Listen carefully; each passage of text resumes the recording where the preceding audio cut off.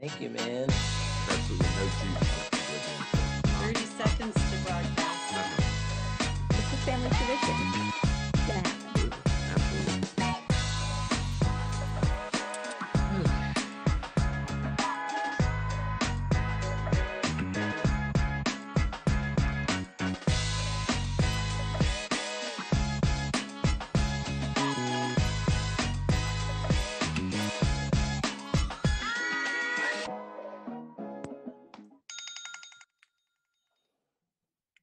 and council, we are live. Thank you, Madam Clerk. Uh, Good evening, everyone. I want to well, call this meeting of Durham City Council to order at 7 PM on Monday, October the 5th, and certainly want to welcome everyone here tonight, all the, uh, our, our city staff, my colleagues, and all the people who are attending this meeting in one way or another. Uh, We're certainly glad to have you tonight. Um, Before we start our uh, moment of silent meditation, I want to uh, keep in mind all those who are uh, continue to be suffering from the coronavirus, and that includes our president and first lady. I hope we will keep all of them in mind uh, as we as, as we uh, engage in our silent meditation. Please join me for a moment of silent meditation.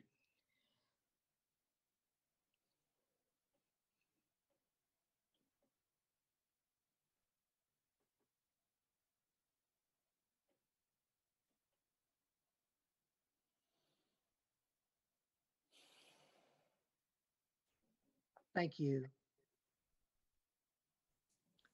Councilmember Reese, will you please lead us in the pledge to the flag? I will. Thank you, Mr. Mayor. Good evening, colleagues.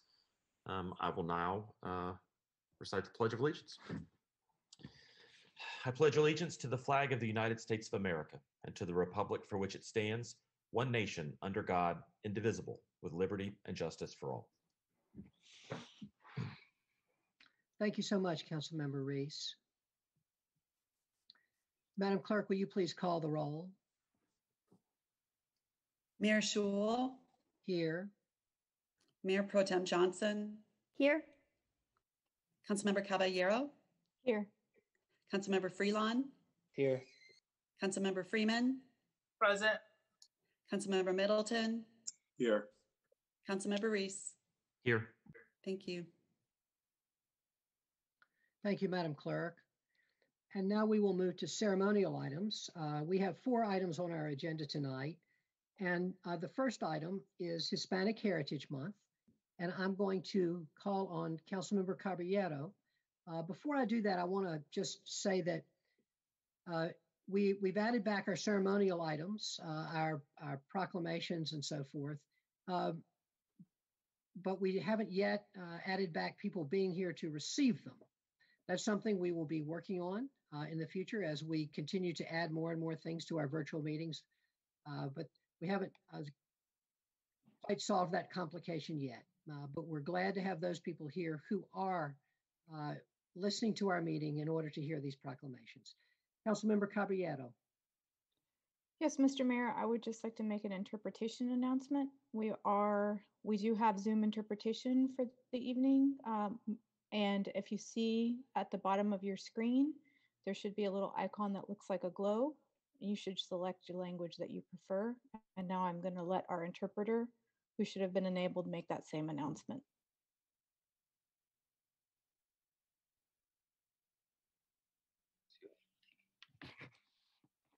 Yes, uh, Javiera, I, I, I already did. Oh, thank you. Then it worked beautifully. Um, I'm not seeing an attachment for my procl- the proclamation. You're muted, Mr. Mayor. It's I in will send- I will s- I will send that to you. I have the latest one. That's fine.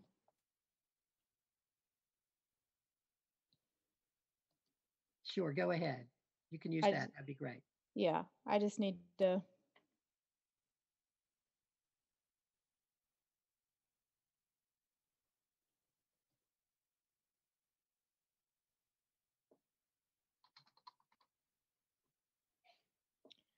And I just want to thank the mayor's Hispanic and Latino committee who wrote this year's proclamation. Um, so thank you to the members who were able to do that for us this year. Whereas National Hispanic Heritage Month is celebrated annually, annually from September 15th through October 15th to celebrate the histories, cultures, and contributions of American citizens with ancestry from Spain, Mexico, the Caribbean, and Central and South America. And whereas the 2020 National Hispanic Heritage Month theme is Hispanics, be proud of your past and embrace the future.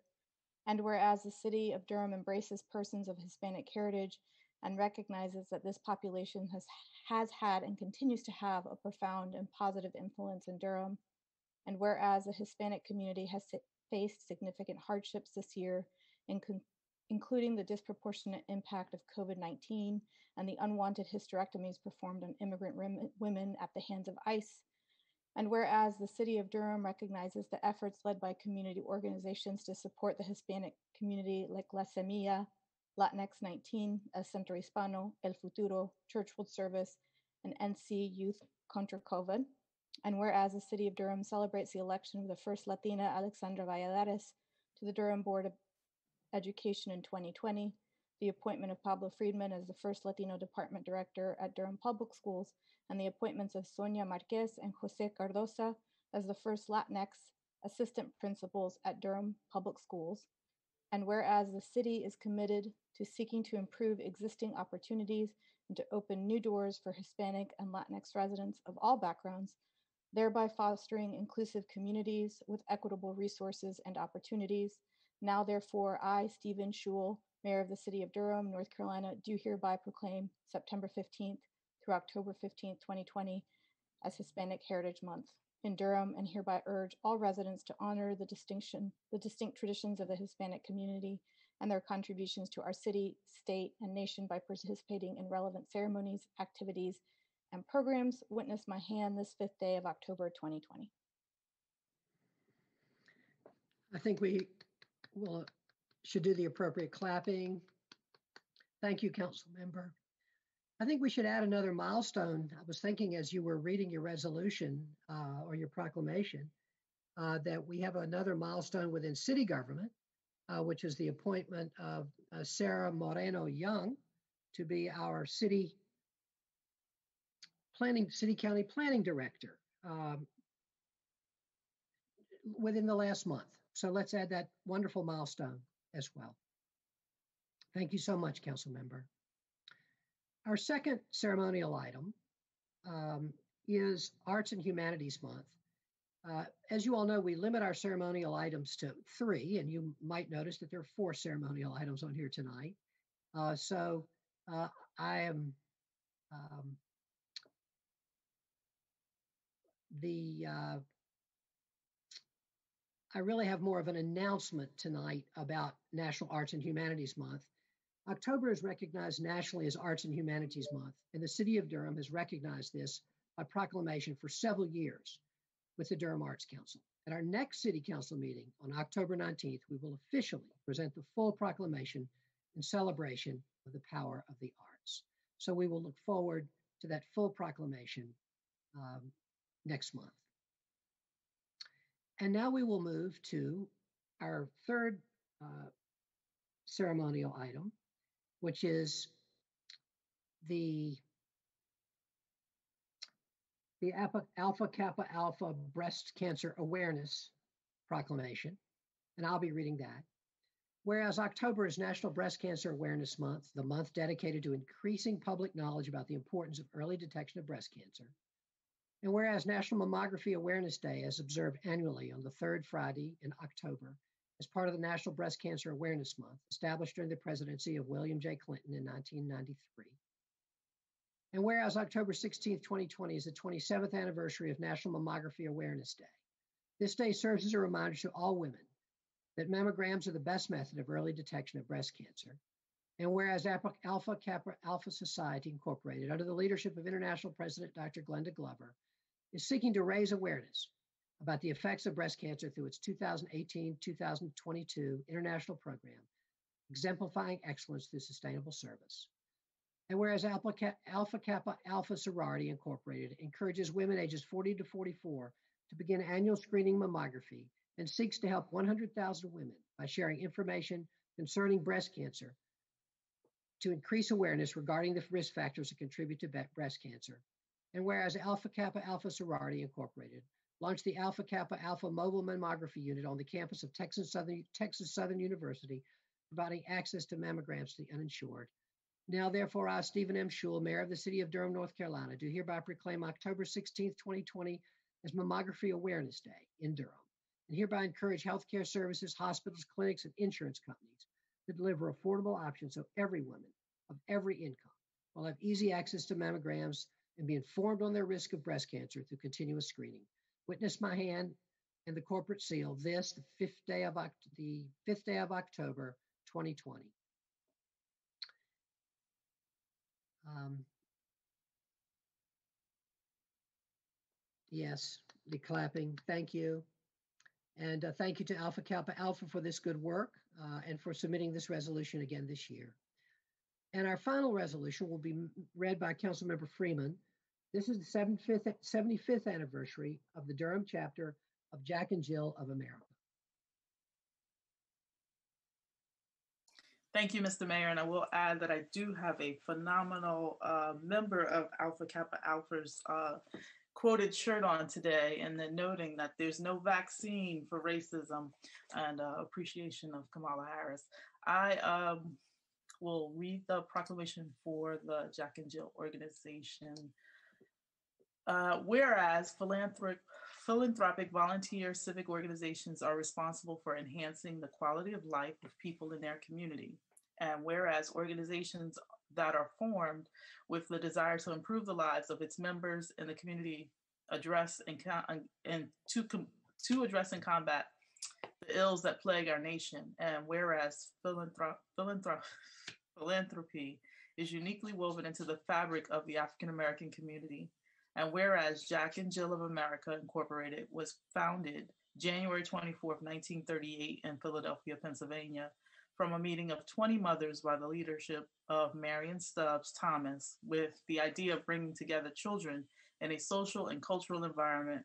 And whereas Jack and Jill is a membership organization of mothers with children ages 2 to 19 dedicated to nurturing future African American leaders by strengthening children through leadership development, volunteer services, philanthropic giving, and civic duty.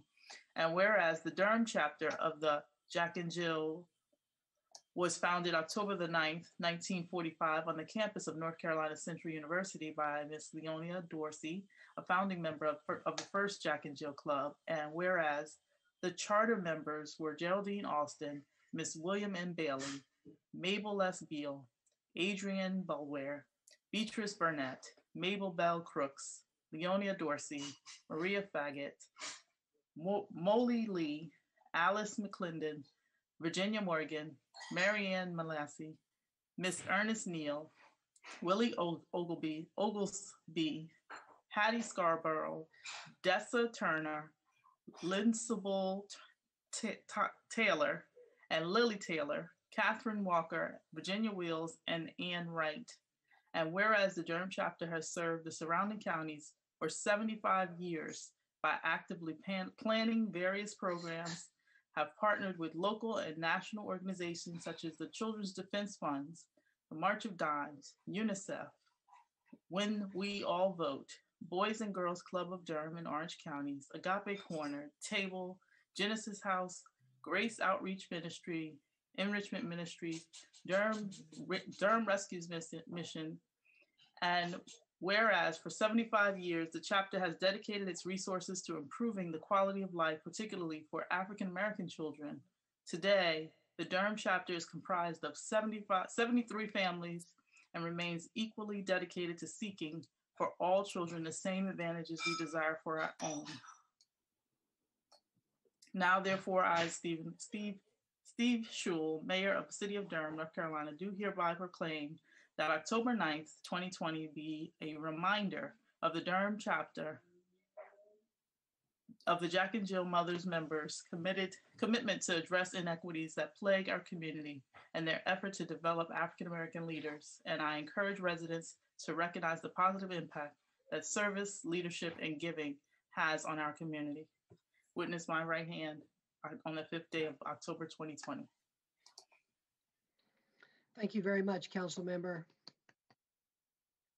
And thank you to the members of Jack and Jill for their work. I must be very old because I knew two of those founding members. All right. um, We will now move to announcements by members of the council. and I'm going to call first on Councilmember Reese because I know he has a couple of announcements. Councilmember Reese. Thank you, Mr. Mayor. Good evening, colleagues, uh, staff, and folks watching at home. Uh, two weeks ago, um, I uh, opened our meeting with an announcement about the fact that uh, Durham had not been responding as robustly to the U.S. Census as many of us had hoped, um, and encouraging people to uh, fill out their census before the deadline of September 30th. Well, guess what? Uh, there's a new deadline in town, uh, October 31st, Halloween um, thanks to the intervention of a federal judge. Um, the the count it will go on through the end of the current month, October 31st. Um, uh, the and so we've got still got time uh, to do outreach, to talk to our friends, neighbors, and families about how important it is for us to to complete the census. So um, the easiest way to do that is to go to my2020census.gov. You can complete it online. Um, if you want to do it over the phone, that's great too. Uh, you can call 844 330 2020. Um, and if you want to fill it out over the phone in Spanish, you can dial 844 468 2020. It's really important that Durham get a complete and accurate count so that we re- receive our fair share of federal funds for programs and services over the next 10 years. You know for sure the feds are going to collect all the taxes that we owe them. We certainly want to get all of the programs and services that we're entitled to uh, and that only happens if we have a complete and accurate count. So um, just please make sure you talk to the folks in your life about whether or not they filled out the census. Uh, there's lots of ways to do that. Second, Mr. Mayor, um, uh, it's my hope that this item will not be pulled in tonight's on tonight's agenda, and so I wanted to take uh, just a minute on item number 18, uh, which has to do with the conveyance of property located at 505 West Chapel Hill Street. Um, this has been a labor of love for a while here in our community, and I wanted to thank all of the staff members uh, with the City of Durham who made this agreement possible, uh, who achieved everything that we and our community has asked for them to bring us for this piece of property. Uh, that has been achieved. Um, and I just also want to thank um, not only my colleagues on the council who have been steadfast in their support of this project, but also, perhaps most importantly, community leaders in this city who refuse to let anything else happen uh, other than what we promised them would happen with this property. The agreement that's on our agenda tonight fulfills that promise. Look forward to joining all of you um, at a legit ribbon cutting um, when uh, when that blessed day arrives uh, and and we're ready to open it up uh, once it's built. So thank you to staff, uh, my colleagues, and especially the people of Durham who refused uh, to accept the fact that there was nothing that could be done to build this kind of community where lots of different folks of lots of different incomes live. My last announcement, Mr. Mayor, um, is a little bit more about current events than I usually like to say, but let me just say this. The coronavirus is still rampant in the world. It is not over. Um, and while we have had some good luck in Durham keeping our numbers low, or at least growing at a lower rate than the rest of the state, um, there are disturbing signs across the country uh, that the coronavirus uh, infections are on the rise again. Normally, I wouldn't mention this, except today, the most um, the most well-known coronavirus patient in the world um, checked himself out of the hospital and um, made some statements that it's not that big of a deal. You can't let it dominate your life. Um, he felt better than he's felt in 20 years. I just want to make sure that folks that can hear me understand that getting COVID 19 will not make you feel 20 years younger. Um, chances are, uh, most folks who uh, who contract the coronavirus uh, are not going to have access to um, a suite of rooms at a top-notch medical facility uh, run by the government free of charge. They're not going to have access to experimental cutting-edge therapies that are not uh, approved for use uh, yet, um, and they're they're not going to be able uh, to access that kind of recovery if, assuming um, the most famous patient in the world does recover. Um, so I just felt a moral obligation to make sure folks understood this is not over. Um, it's there's still some troubling signs um, around the country that that this could get worse again before it gets better.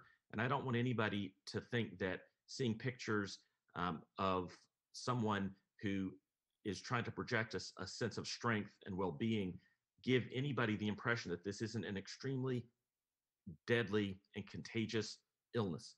So please continue to do all the things that we know how to do to keep each other safe. Wash your hands, wear a mask, and maintain social distancing. Those are the things we have to do to keep each other safe during this time. Thank you, Mr. Mayor. I'm done with my announcements. Thank you very much, Council Member. All right, um, other announcements by members of the council? All right, thank you. Seeing none, I'm going to now move to priority items by the city manager. I'm sorry, Councilmember Freeman, do you have an announcement? Uh, yes, Mr. Mayor, I had thought that, uh, Councilman Reese would have covered it. Uh, just a note, early voting will begin October fifteenth and run through October thirty-first. Uh, I know that that will occur, that will start before our next council meeting. I wanted to make sure folks are aware and start to make a plan if they haven't already. Uh, just know that the early voting sites will be located throughout the county, and I'm sure that more information will be available at the county's uh, Board of Elections website. Thank you. Thank you, Council Member. There are over six, I think it's over eight, 16 sites, so this would be a very spread out cycle for you to go vote where no one is is is really there. So no lines. Go early. Indeed. Thank you. You. All right. um, I don't believe there are any other announcements, and so I'm going to move to priority items by the city manager. Madam Manager, welcome. Good evening, Mr. Mayor and members of the Durham City Council.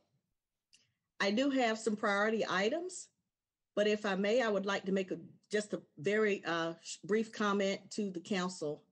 Uh, I appreciate your confidence in me uh, this evening uh, to lead the city of Durham as interim city manager after Tom Bonfield's retirement from a very long and historic career as a local government leader.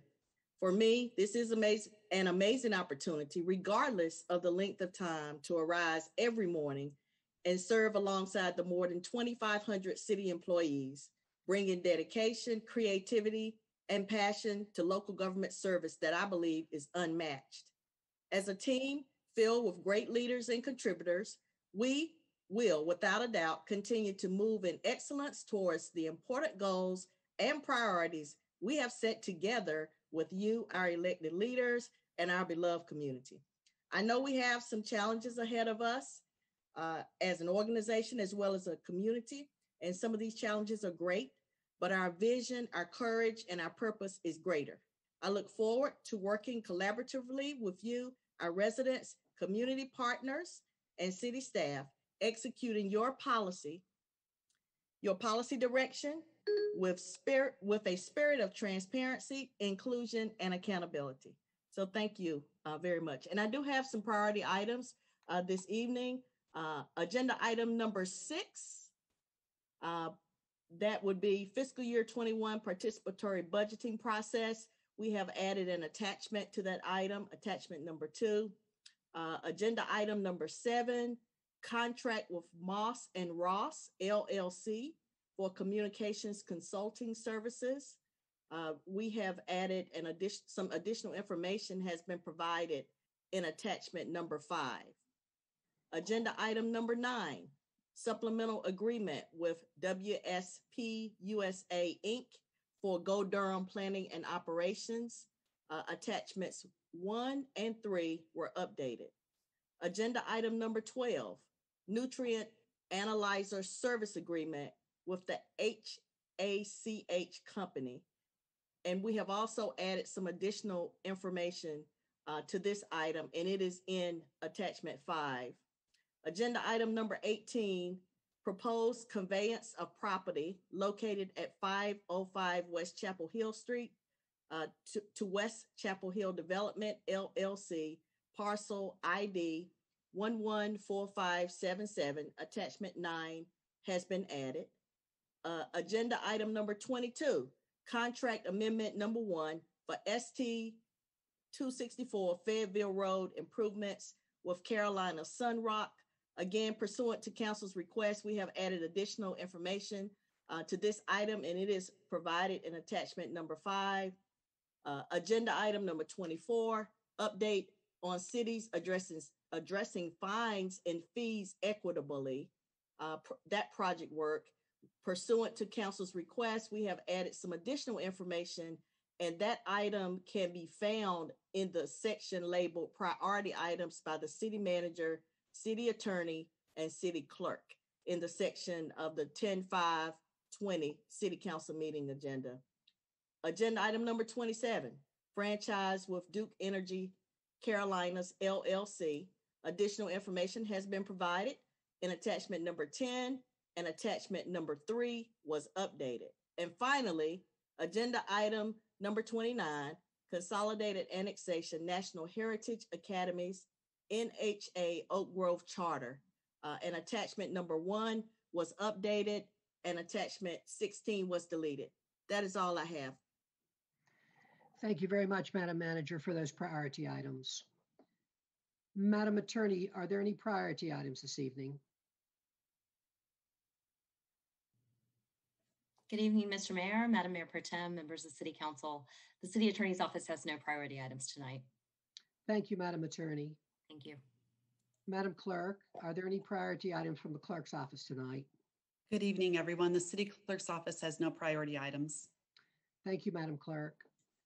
We will now move to the consent agenda. The consent agenda uh, is, consists of items that the council has uh, previously worked on and can be approved by a single vote of the council. Council members or members of the public can pull items from the consent agenda, and if an item is pulled, it will be considered at the end of the meeting. Item one, Human Relations Commission appointment. Item two, Mayor's Council for Women appointment. Item three, fuel usage performance audit, June 2020. Item four, water billing performance audit, June 2020.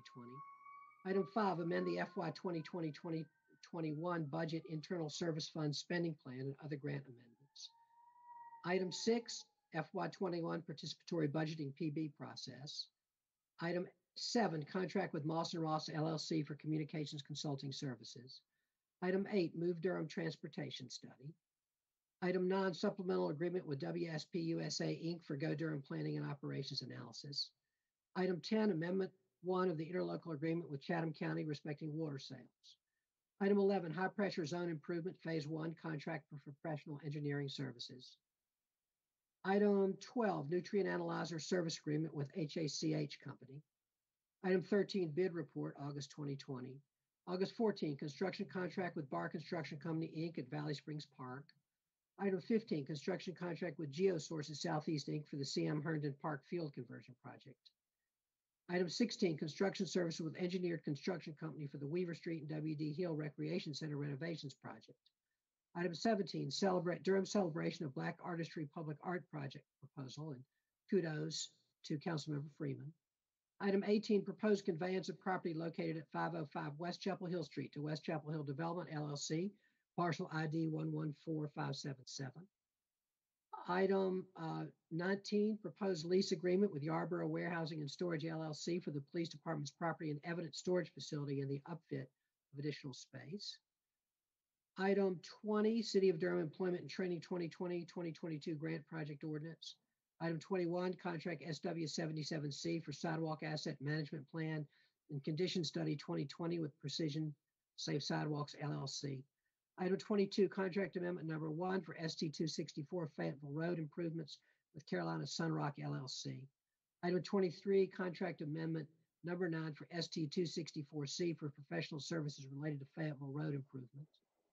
You have heard the consent agenda, and I'll now accept a motion for its approval. So moved. Second. Moved by Councilmember Reese, seconded by Councilmember Freeman, that we approve the consent agenda. Madam Clerk, will you please call the roll? Mayor Schewel, Aye. Mayor Pro Tem Johnson, Aye. Councilmember Caballero, Aye. Councilmember Freelon, Aye. Councilmember Freeman, Aye. Councilmember Middleton, I vote aye. Councilmember Reese. Aye. Thank you.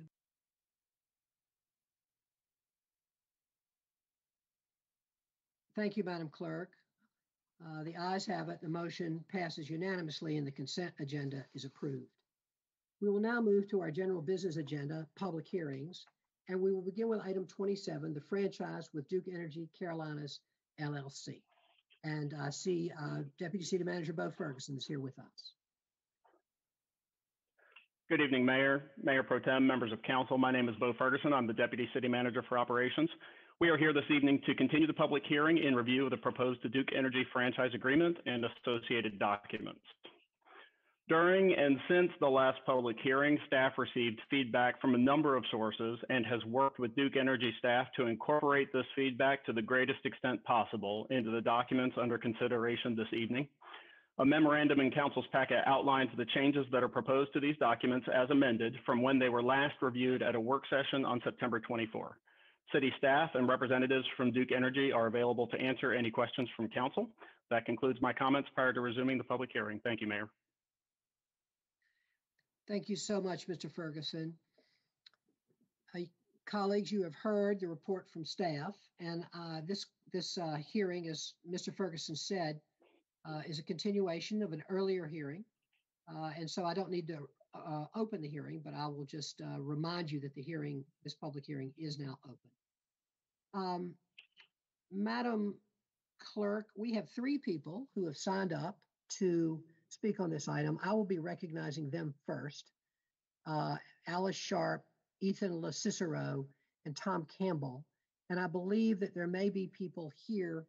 I, I know that there are people here uh, who also are interested in speaking on item 27. The um, that I have seen previously in the chat. Um, so I just want to let those people know. Anyone who's here as a attendee and is interested in speaking on this item, don't worry, you will be able to speak on this item. Um, I see Stephanie Foreman uh, is here to speak on this item. And I believe that may be all, but I just want to be clear that we will give everyone a chance to be heard. Um, and and uh, maybe I will uh, I will I will start first though by asking at this point are there any questions by members of the council for our staff at this point? Councilmember Freeman. I just had one. I noticed um, that I know in the previous meeting we had quite a few conversations about a few complaints, and I just wanted to know because I noticed noticed a few folks complimenting the lights. Were there any uh, well received information? Like I I hadn't heard on the other side of this conversation if there were folks who were um, really appreciative of these uh, the lights that were put in place. And I and I wasn't sure if that was connected to this, but I wanted to make sure that I did make a point of noting that. Uh, Um, so, Mayor, I, I believe Bill Judge is in the meeting, and uh, Bill would probably be the appropriate staff person to address that. I'll ask uh, Bill to unmute and uh, provide that that feedback. Thank you. And I do want to just, uh, in partial answer to your question, one of your questions, Councilmember Freeman. Um, yes, this is an appropriate time to talk about that. Um, and uh, also, uh, colleagues, you will know, you will, uh, you may have noted that we got five or six written comments uh, sent to us through the clerk about the lights as well. Mr. Judge. Yes, thank you. Bill Judge, Transportation. Uh, we have gotten uh, some comments uh, in support of the lights and saying that they like them. We've even had a few folks ask for additional lights. Um, certainly not as many, probably, as the most recent round of complaints with most projects or things. Uh, you tend to hear more from the, the folks that dislike it than that, that do, but there are definitely folks that, that support it and like the lights in the current configuration. Thank you, Mr. Judge. Yes, thank you. And I only wanted to note, because I had heard from a few folks around um, some areas where the lighting was only on one side of the street, that it was helpful that it was able to cover both sides as opposed to just the one side. And so I just wanted to make sure that that aspect was included in the conversation. Thank you very much. Thank you. Uh, uh, Mr. Judge, I'll have some comment, uh, questions later about that as well, but, um, unless there are other questions for staff now, I will move on to public comment. All right, um, I will now, uh, move on to public comment. Uh, and, uh, we have, as far as I know, four people who would like to comment, and we will begin with Alice Sharp. Um, Madam Clerk, can you make Ms. Sharp available? I see that Ms. Sharp is available to comment. Ms. Sharp, welcome. We're glad to have you. And uh, you have three minutes. Thank you, Mayor. Uh, my name is Alice Sharp. I live at 208 Rigsby Avenue uh, in Durham. And I'm a Durham native, and I'm here to speak on behalf of Durham Energy. I am in support of continuing, the city continuing the collaboration with Duke Energy. And just want to remind people what a good community partner Duke Energy has been and is today. Um, I don't agree with everything they do, but I can tell you they work to make our communities better. From the seniors at the Senior Cen- Center, um, Durham County Library has been, for whom I worked, has been well supported by Duke Energy. And Duke Energy has a continuing and supportive interest in broadening our connections in the community, and that includes the Latinx community that you spoke of earlier. And I also want to say how Duke Energy has been a good partner for Durham Crop Walk. And I do want to say that for those of you who don't know, we lost Karen Johansson today. Karen had coordinated Crop Walk for Durham for many years. She was our leader, and I just want to give a nod to her. But all in all, I do hope that you will support Duke Energy and also recognize that there have been moves to consolidate Duke Energy with a larger company that would make it one of the largest utility companies in the nation. We don't, Duke Energy does not support that, nor do we. So I hope we certainly consider our Durham, the city of Durham's position in terms of uh, partnering, being with Duke Energy as opposed to being under one big umbrella. Thank you. Ms. Sharp, thank you so much. We, I'm sorry that we are not able to be with you in person. It's great to have you here with us. And I'm so sad to hear about Karen Johansson. Thank you so much for letting us know that. Karen was just an amazing civic contributor and a wonderful person. And I'm sorry to hear that news, but I appreciate you bringing it to us. All right. Um, we will now hear from Ethan Locicero. Um, Mr. Locicero, welcome. We're glad to have you with us. And you also have three minutes. Hi there. Good to be here. Um, thanks for letting me speak. Um, so I first want to acknowledge that there has been a good bit of progress on the um, memorandum since the last draft, um, but there's still a few points that I think are worth um, holding out on and trying to get some stronger language in there. Um, one of my primary concerns is that a lot of the stipulations in this have to do with collaborating between Durham and Duke Energy, where we um, have common interests, and I think that's great, except that um, the wording seems to kind of go out of its way in this document to allow Duke Energy to not acknowledge climate change and environmental injustices um, and the need for um, a transition to renewable energy and a reduction in fossil fuels. Um, so the whole collaboration doesn't really mean very much um, in terms of action on climate change unless they acknowledge that and the need for um, more action on that. Um, I also think we could hold out um, to have stronger wording around um, commitment to solar energy. Right now, it's limited to city operations, and I think it's part of the city's goal to um, extend that to um, the broader community. Um, and so ultimately, I think the main question is, does this agreement give the city the power and the freedom to achieve our energy goals over the next 10 years? And does it give us the flexibility as technology evolves? And I don't think it's quite there yet. Um, that's all I have for you. Thank you for those comments, Mr. LaCicera. We're glad to have you with us. Uh, the third speaker is uh, Tom Campbell. Uh, Mr. Campbell, are you able to be heard? I hope so, Mr. Mayor.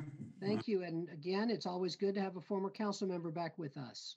Uh, well, I'll, I'll, I'll, I'll try not to uh, to haunt you too often uh, in, the, in the future. Um, I, I, I would like to echo many of the things Ethan said, but I would also like to point out that there are certainly improved possibilities uh, in these documents, especially in the memorandum of understanding.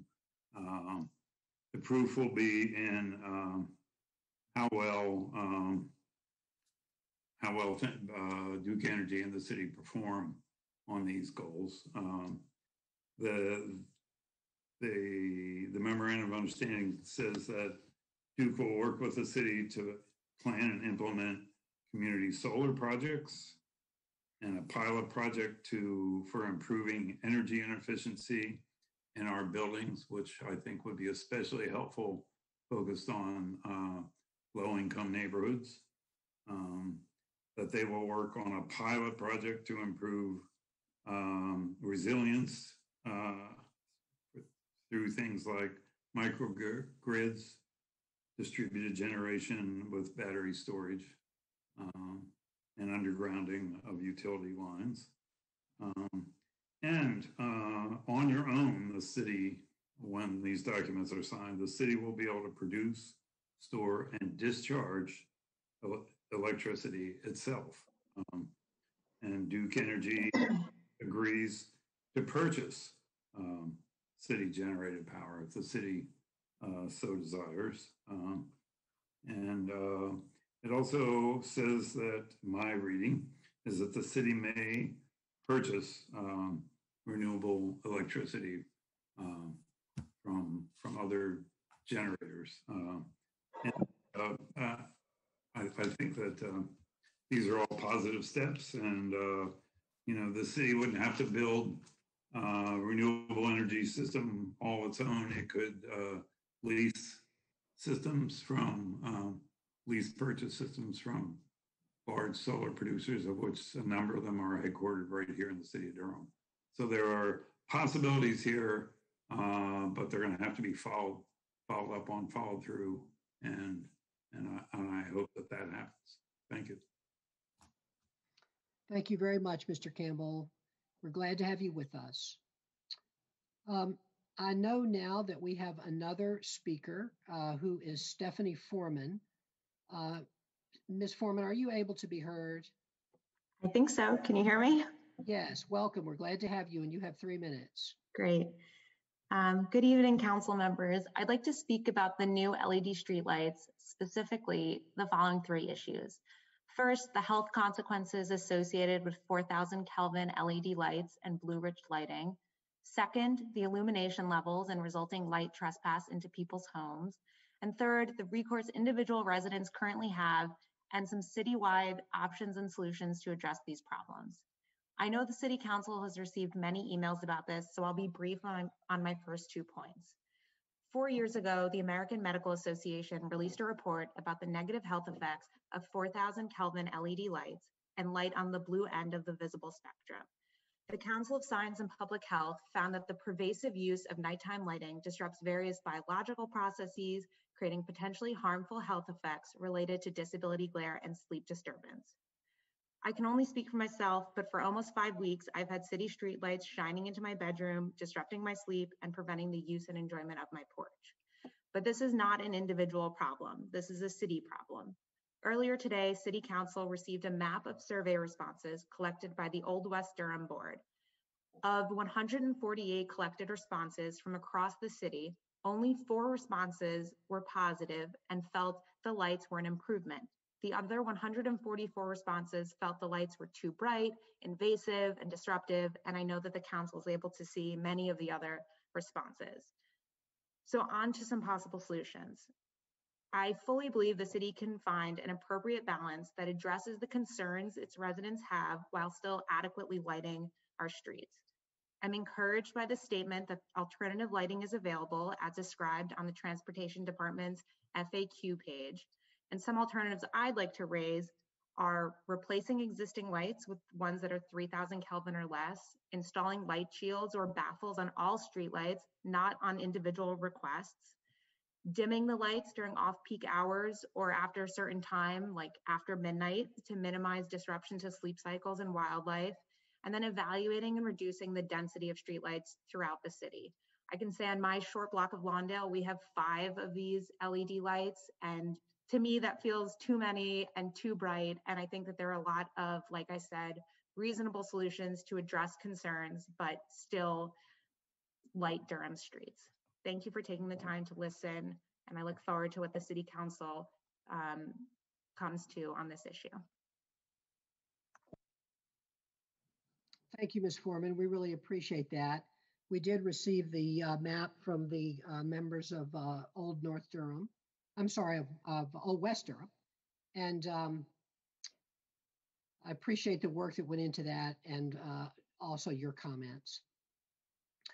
Let me ask now, is there anyone else that would like to be heard on this item who's an attendee tonight? If so, could you please uh, raise your digital hand or put your information in the chat? I don't believe there is anyone else, but I just want to make sure. Madam Clerk, I don't see anyone else. Do you? No, sir. All right, thank you. All right. Um, we have heard from members of the public. And now uh, I will ask if there are any questions at this point by members of the council for our staff. All right, I have some questions. Um, uh, I will um,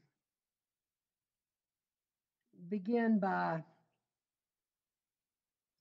uh, seconding one of the things that uh, Mr. Tom Campbell said in his remarks, which is that this these agreements, especially the memorandum of understanding, these agreements are only as good as our implement our joint implementation. And so I'm interested in hearing um, from staff uh, on their uh, yeah, and let, let me just say a little bit more. The, the we are now in the midst of or uh, in the process of creating a work plan or, or rather the um, the city's own energy action plan which will be done sometime in 2021 fy 2021 and and then the MOU says that the work plan will develop after this energy action plan. Um, and so one of my question is, that could be a while before a full work plan is developed. I think those are the kinds of things that take some time to do well. But we also know that there's some things that we need to take go ahead and begin to take advantage of now. So one of my questions is, and we heard a little bit about this last uh, two weeks ago when with the discussion of the RFI for the Green Source Advantage. Um, but what are some of the things that we ought to be doing and can be doing in the next year and something uh, while the Energy Action Plan, the city's Energy Action Plan, and the joint work plan between Duke and the city are being developed? What are the what are some things that we can move forward now and and and and, and uh, begin to implement? Mayor, I'd like to ask Stacy Poston uh, from General Services, who's really been the point person on developing the MOU, to talk a little bit about uh, the, the, content there of, of, that program, but also our ongoing relationship with Duke as it pertains to those matters. Stacy? Good evening, Mayor, members of council. Stacy Poston, the General Services Department. Happy to be here this evening. So we have a number of initiatives that have been going on. So we have been really working on dual tracks. One is understanding that we need to have a comprehensive master plan for our entire portfolio and engaging GDS associates to help us look at all of the data that we have, analyze the data we have, and, and put that in some sort of semblance of order of what things ought to come first sequentially and um, how much those things are going to cost.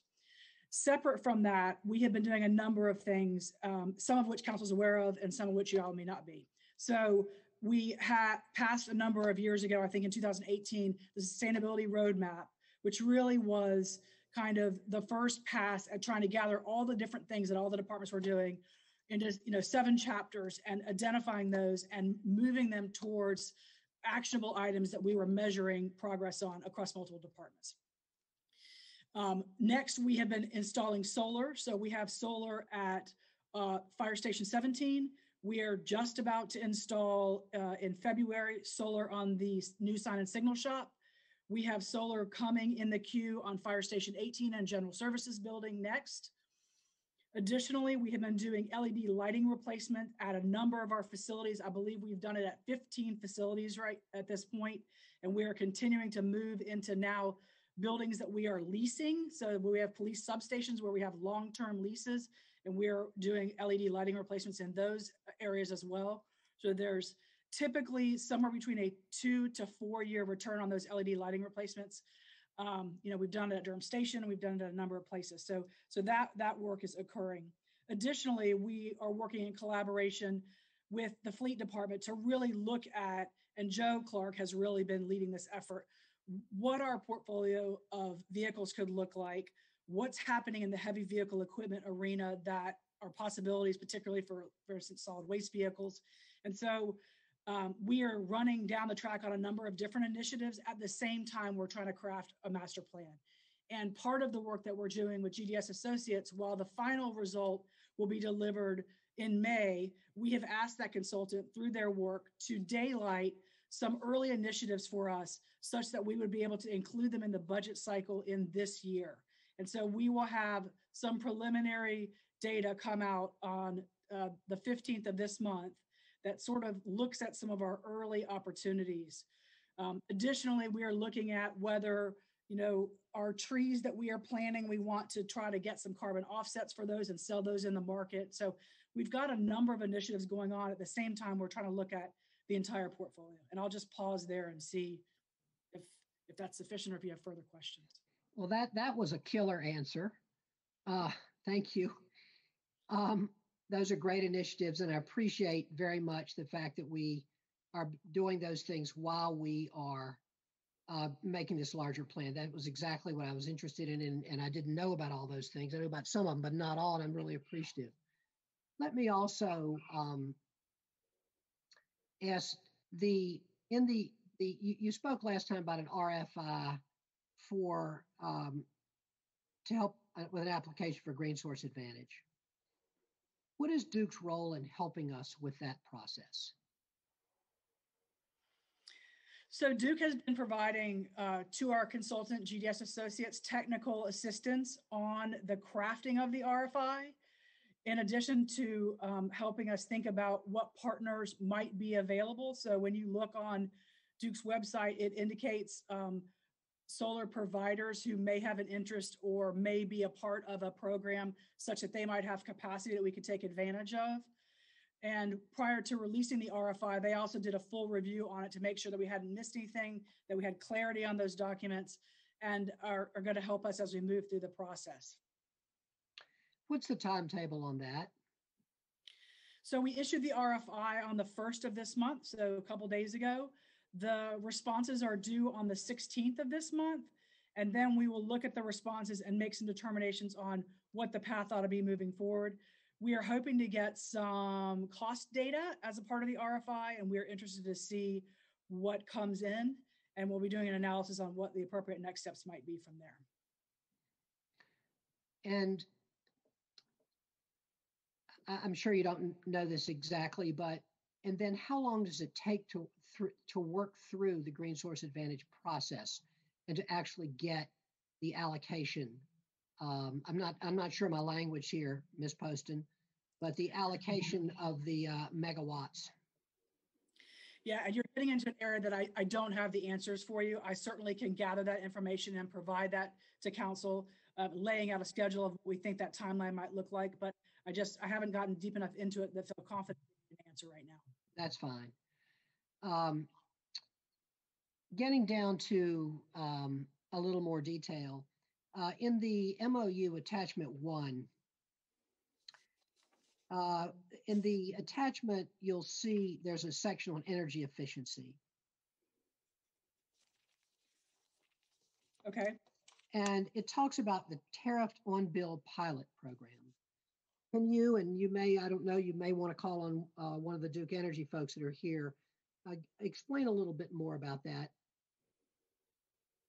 Yeah, I think it would be great to have one of my Duke partners, um, Indira or one of her team, tell us a little bit more about that. The intention here is for us to create a pilot program and to test it. And if the pilot works, then we would ask for um, confirmation from whatever the regulatory agencies are to be able to continue that process. But I, I'd like to see if some of my Duke team can respond here. And and uh, I'm I'm particularly interested in the fact that I, I, I'm what I'm trying to understand is a little bit about this the, the specific language. What is a tariffed on bill pilot program? I, mean, I know what a pilot program is. Indira, are you out there? I see Ms. This is Daniel. Christy. Can you all hear me? Yes, Ms. Daniel and or Ms. Everett, either one. Mayor Schewel, thank you for the opportunity to respond. My colleague Christy Daniels on the line, and I think she can handle this question. Thank you. And Ms. Everett, I didn't see you here. We're glad to have you with us. Yes, sir. Ms. Daniel. Sure, thank you. So specifically, your question is the on-bill financing pilot Yes. program. Yes.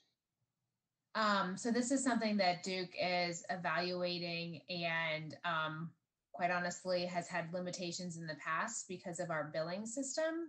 But we are in the process of updating our billing system so it'll have capabilities that we haven't been able to have before. So this is something that we'll be able to roll out um, as that system becomes available within the next, uh, certainly within the next year. Um, so this is something where if a if a customer would like something like a, um, more efficient air conditioner, but they potentially couldn't afford to pay for that air conditioner all at once, it could be paid for along the course with their Duke Energy bill over time. So they would be able to get the benefits of a more efficient air conditioner and pay for that over the course of of their billing cycle, however long that might take. So that's it's kind of a, financing that so so Duke in part is is financing the project for energy efficiency. Thank you. That was very helpful. I wasn't quite, uh, I realized I didn't quite understand exactly what would be financed, and that's extremely helpful. Thank you. Mhm. Uh, I have another question uh, related to attachment one under the reliability and resilience section. Um, the about the pilot program, such as solar arrays paired with battery storage on critical municipal facilities. I know that that is something of tremendous interest to all of us, um, and uh, would like to hear a little bit more about um, either from the city. Uh, I guess I'll start with Ms. Poston, and then you may want to throw it over to Duke. Uh, but what is our what is our ambition here? I mean, this is super important technology. Uh, the, the change in battery storage is enabling a lot of uh, alternative energy uh, efficiencies. Uh, so, could you talk a little bit about that, Ms. Poston? What do we, when we're when we what would you be thinking of here, and, and uh, what would be piloted? Yeah, so this one I'm going to ask uh, Paul Cameron to weigh in and tell us a little bit more about that. You may remember that we received a grant earlier this year where we did some analysis on um, battery backup at City Hall and at um, the new police headquarters, sort of analyzing what the costs were and what sort of technology there was. Um, so let me just see if Paul can speak a little further on that. Mr. Cameron, are you able to be heard? Yes, could you hear me? Yes, we can. Welcome. Thank you, Mr. Mayor and members of council. Um, So uh, as the mayor, as the mayor said, solar powered with battery storage is um, a fairly new technology, but that one that is growing in importance, particularly for resilience. Um, if, for example, um, if we can install um, solar panels paired with storage on key facilities, um, they can provide electricity in the event of a power outage. So, for example, on City Hall, police headquarters, critical facilities that we need to keep the power on in the event of a, a storm or a hurricane that uh, where there's a regional power outage. Um, solar and battery storage can provide critical resilience capability um, in, in, that situation. And this is something we did a, um, a, pilot study last year with using a grant from um, the National League of Cities to do a study of that capability. And this is something that we could work with, with Duke Energy on in the future to full explore that area more in depth and perhaps implement some of those projects on some of our key facilities. Thank you, Mr. Cameron. I'd like to ask now um, uh, someone from Duke, um, Ms. Everett, Ms. Daniel, whoever is appropriate. Uh, what is Duke's level of interest in this? And what would you see your role as in terms of helping us make this a reality? Dear, I can take that one if you want me to. Um, so, uh, some of you might know we recently filed an updated Carolinas resource plan. And in that plan were many different portfolios for how to decarbonize our fleet. And um, within that was a, a, a, very large amount of renewable energy and storage technology. So, um, which doesn't exist today on our system. We don't, we hardly have any batteries. So, this is of great interest to us. Um, and I think it only makes sense that the first places that we test and pilot um, these projects are with critical infrastructure.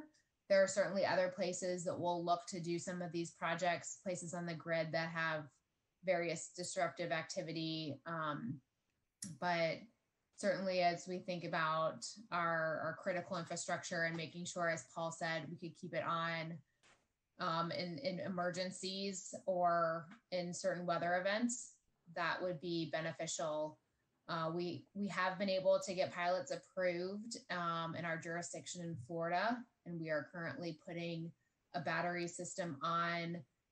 I believe it's a um, a school or recreational center, but it's used in times of hurricanes for a place where um, elderly and, and folks in the community can go during a, a hurricane. So this is something that we are trying in other jurisdictions to do, and certainly, especially with the filing of our resource plan in North Carolina, we'll look to do even more so in, in North Carolina.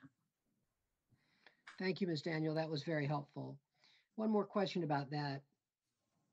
I don't, you know, the the way in which this uh, technology is and its uses is described in the MOU, it is, it's it's it's it's um context is just what you described in the example that you gave, kind of emergencies, you know, a resilience issue.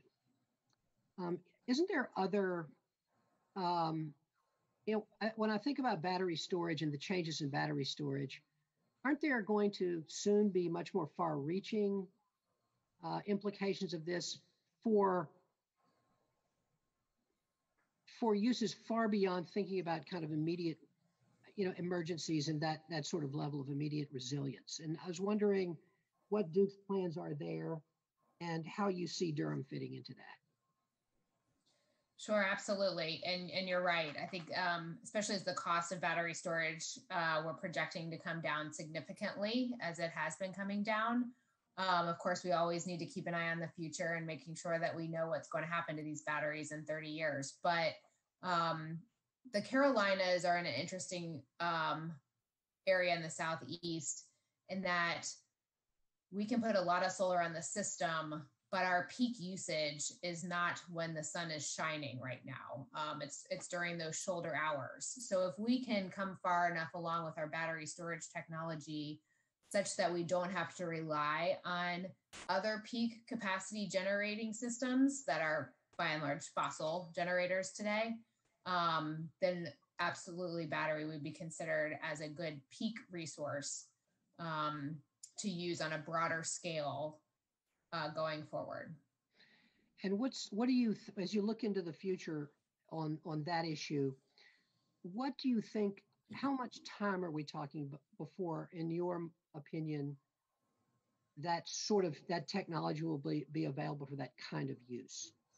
I won't hold you to it. Thank you, because I'm not the engineer. But um, you know, I would say that it's certainly within the 15 to 30 year time horizon. Um, and not it's not all dependent upon technology. I think technology will help drive down costs as we get more efficient.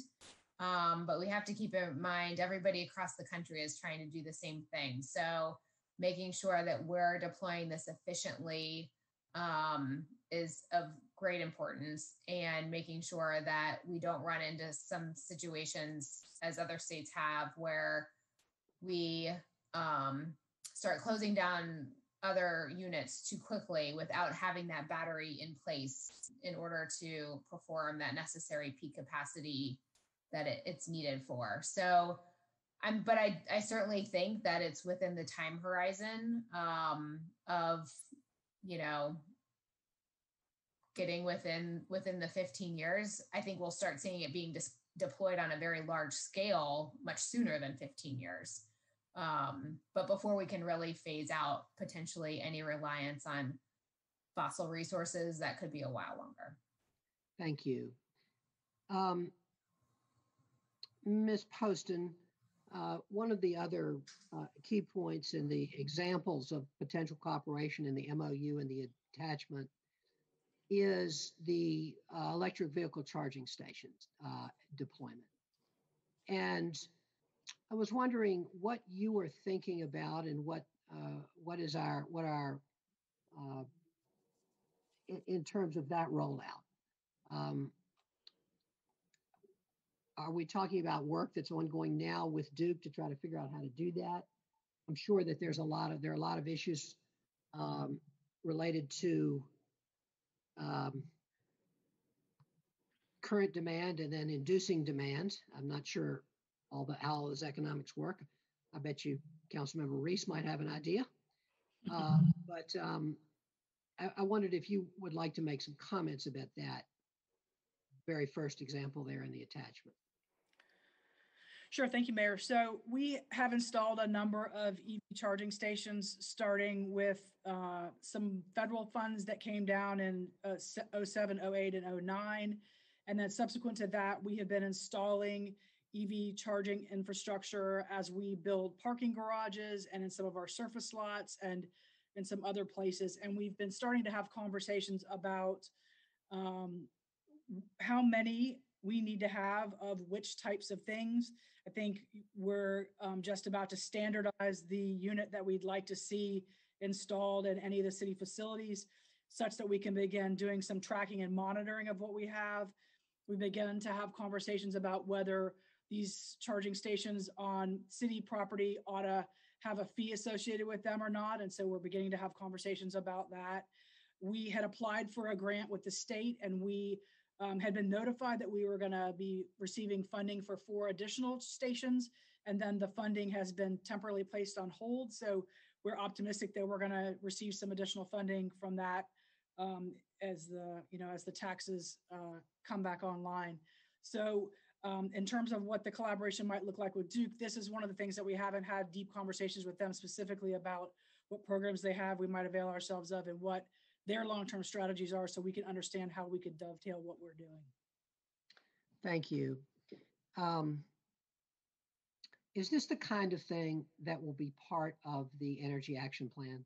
A more uh, is is this an example of something that the energy action plan will fill out in terms of a range of timelines and costs and so forth?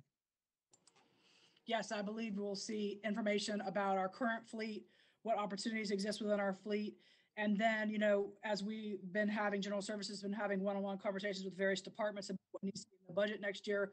We've been talking about making sure we've got enough infrastructure in place so that when the buses come in, we can, and we're adding buses to our fleet that we have the infrastructure to do the electrical vehicle charging for those. So I think we're firing on a number of cylinders, whether it's transportation or fleet itself or general services. And I think this is a place where we have conversations with Duke about what, how, how these pieces dovetail together over the long term. Thank you. Once we have electric electric vehicles, will we still be filing, firing on a number of cylinders or will that metaphor? uh, Yes, I hear you. um, So, um, okay, thank you. Um, Let me just, I wanted to just make a few remarks uh, about this and where we are. Um, I really appreciated the speakers we've had tonight, and I, I really appreciate uh, back in the end of last year and several months at the beginning of this year, I met a lot with a group of several groups of environmentalists and energy advocates. Uh, the EAB pulled people together, uh, but not just the EAB, the grandmas and grandpas for safe energy. Not sure what their exact name is. Um, and um, the Sunrise Coalition, many, many groups, and really helped me form a vision for a Green New Durham, which I articulated as best that I could in my State of the City speech. And I really think that the our staff did a wonderful job in uh, keeping those important points that were put forth by that group of people as part of this vision in the forefront as you were negotiating this franchise agreement and MOU. Uh, not all of the points uh, that I laid out there uh, are agreed to uh, by our partner, uh, Duke Energy, in this MOU. Uh, and and honestly, the ones that are the that that, that are, the, the ones that are particularly not agreed to need regulatory and legislative change.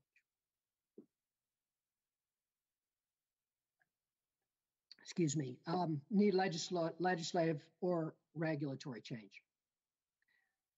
Um, I am appreciative that this week uh, there is some change in language in the MOU from the previous week, uh, which speaks to uh, the potential cooperation cooperation to get that legislative or regulatory change, uh, cooperation between the city and Duke.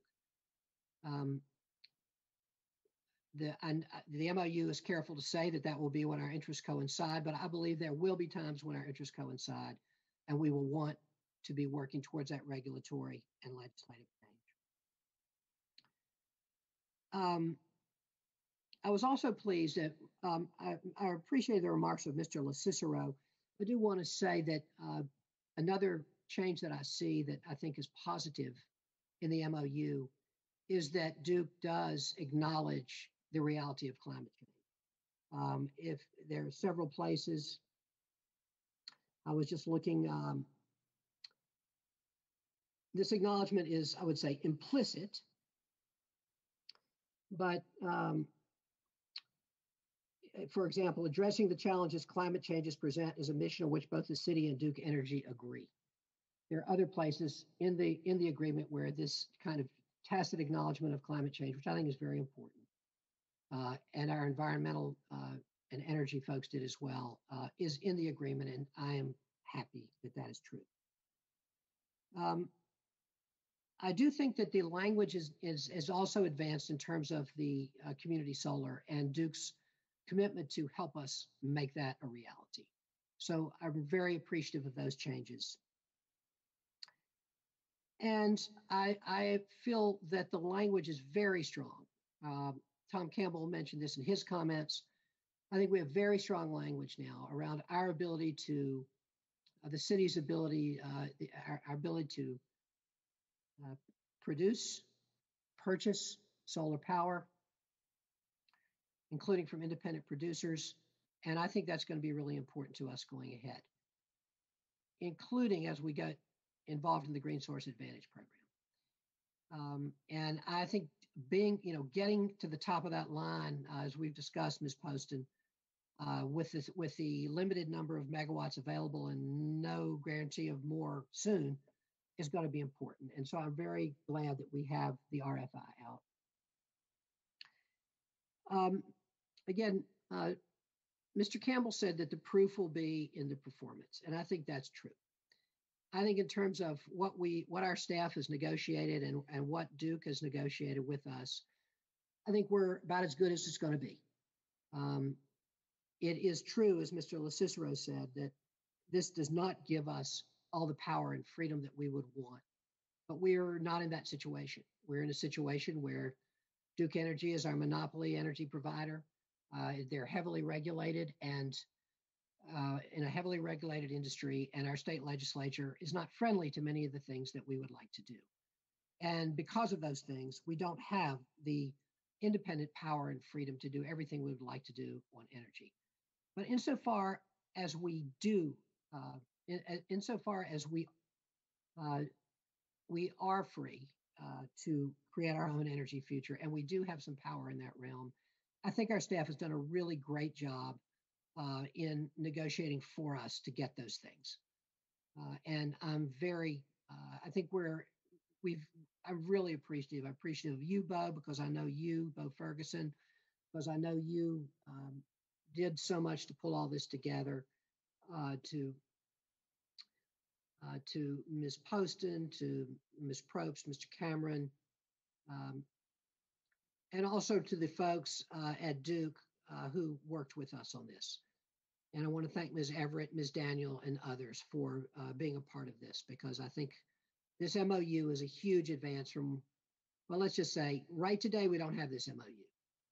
Once we approve this, we'll have this MOU. And it is a huge advance, I think, in our potential uh, energy future. So I want to express my gratitude. Uh, and uh, Ms. Everett, would you like to say something? Yes, sir. Mr. Mayor, I would to you and uh, all the city council members, thank you all uh, for allowing us this opportunity. I want to just echo some comments you made and kind of end on a collaborative note. Certainly, as you said, the staff, the city of Durham staff has been phenomenal to work with, and I want to thank them again. I said that a couple sessions back, and it bears saying again, they have been exceptional to work with. And so we appreciate that. They worked in a very professional manner um, and have been very collaborative. And that I have to echo again is well received. Our leadership certainly appreciates that. I personally appreciate that. I also want to mention, as I want to thank my colleague Christy for being on the call. She is a subject matter expert for the subject that she was referring to. I do want to make the City Council aware, and you, perhaps you are aware, that we started a Duke Climate Collaborative maybe a year or two ago, and Christy actually started that and led that.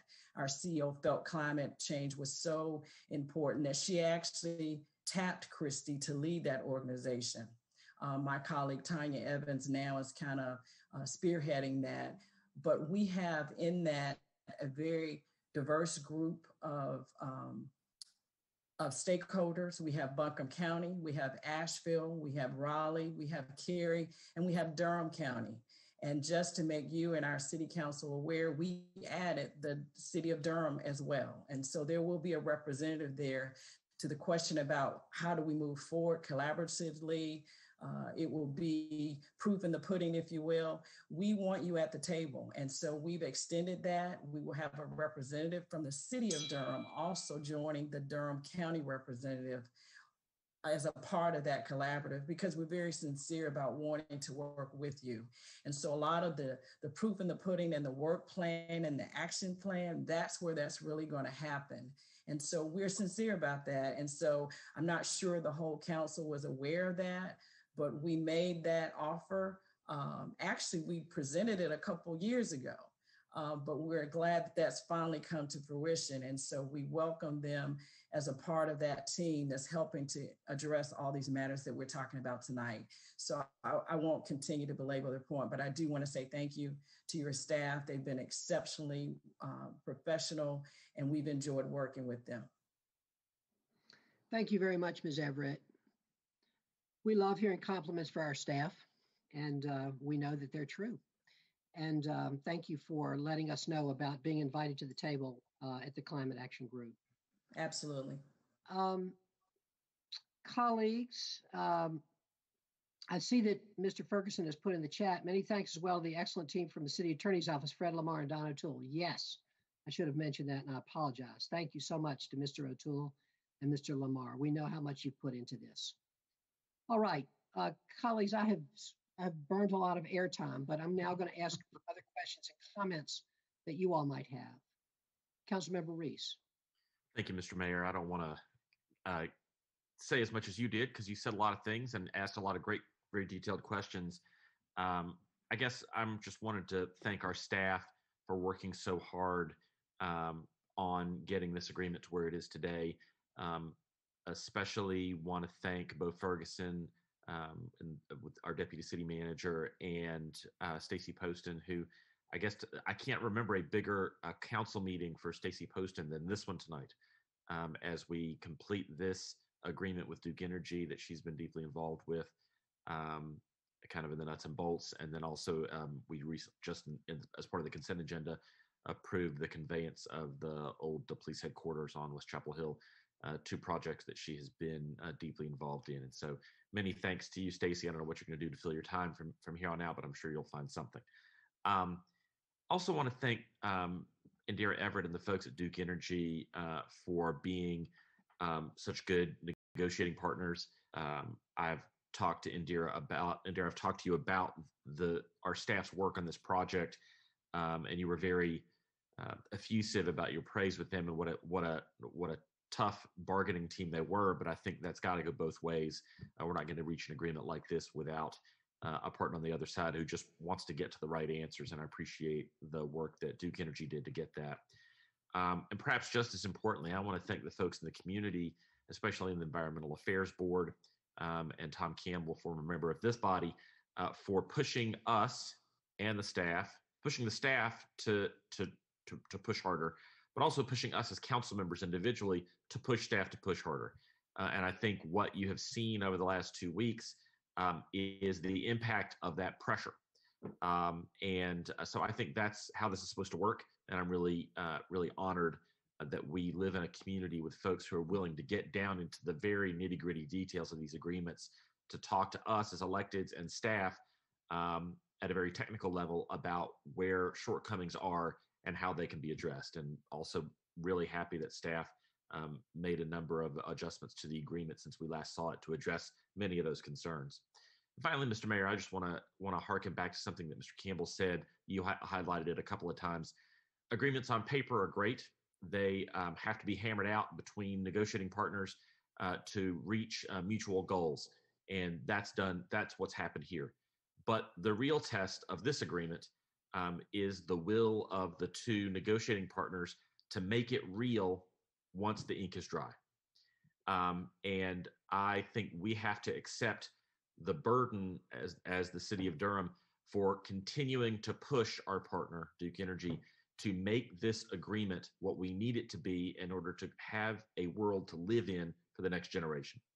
Um, you know, we passed a sustainability, um, a set of sustainability goals not too long ago and unless we change the, the legislative rules around how power is generated, how it's stored, how it's bought and sold, we're never going to get there.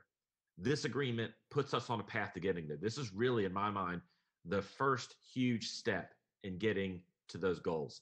Uh, but we, but like I said, once the ink is dry, we still have a huge responsibility to continue to push Duke Energy, to continue to work with other municipalities to pressure both the legislature here in North Carolina and also the US Congress in Washington, D.C., to make it easier for producers to produce green energy, for cities to produce, buy, and sell it. Um, that's how we're going to get to the future we need, along with lots of other things around transit, land use, and, and whatnot. So, all of that is to say that that for the time that we are on this body, we will have personal responsibility for continuing to push this system forward. But we also, our community has to continue to do what EAB and Mr. Campbell and others have done throughout this entire agreement negotiating process, which is to push us, hold us accountable for making the kind of changes at the local, state, and federal level that will make this agreement, help this agreement build us a world that we can, that our kids can live in. And so all of that is to say that that to the people of Durham, continue to hold us accountable. Um, we, none of us will be in these seats um, to see that next generation. And so the people of Durham have to continue to elect representatives to the city council at every level of government who are committed to making the changes we need to save our planet. Uh, this is an important step in that direction. I intend to support it tonight. And I just want to thank everybody involved and thank my colleagues. Thank you, Mr. Mayor. Thank you very much for those comments, council member, and they were very, very well said. All right, other comments by members of the council or questions for staff? Councilmember Middleton and then Councilmember Freeman. Thank you, Mr. Mayor. Uh, Charlie, Pierce, and Jillian are like 12, so they'll be here uh, next generation. um, Mr. Mayor, thank you for your, your questioning uh, of folk tonight. You know, this whole matter, a recurring motif for me during this whole matter was don't let the perfect be the enemy of the good. Um, but this deal has actually gotten gooder. Uh, there was a point at which I thought the, the good threshold was crossed uh, some time ago, but um, it's gotten gooder. And I'm grateful for uh, the work of the staff. I, I, think two things that are evident uh, that's been made clear to me or clearer to me is the the absolute um, absolutely phenomenal staff we have when they're given the charge to negotiate and act on our behalf. And I also want to want to recognize the good corporate corporate citizenship of Duke Energy as well. I think I think those two things came together uh, and have given us not a perfect but a, but a very good deal. I think, and I'm I'm confident that when I read the MOU intention with the actual franchise agreement, both documents kind of in in, in a conversation with one another, uh, I'm confident that we're at a good place to um, champion our values when it comes to the climate and the environment uh, moving forward and still giving our city agility.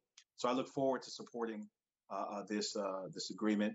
Um, I want to thank uh, the EAB because I, I think th- this is a, a, a prime example of why activism is so important and why organizing and continuing to push governments when they say this is all as far as much as we can do to keep pushing them to go further. So I'm glad we didn't settle, settle just that good, that it's gotten gooder because of the excellence of our staff and, and members of the community.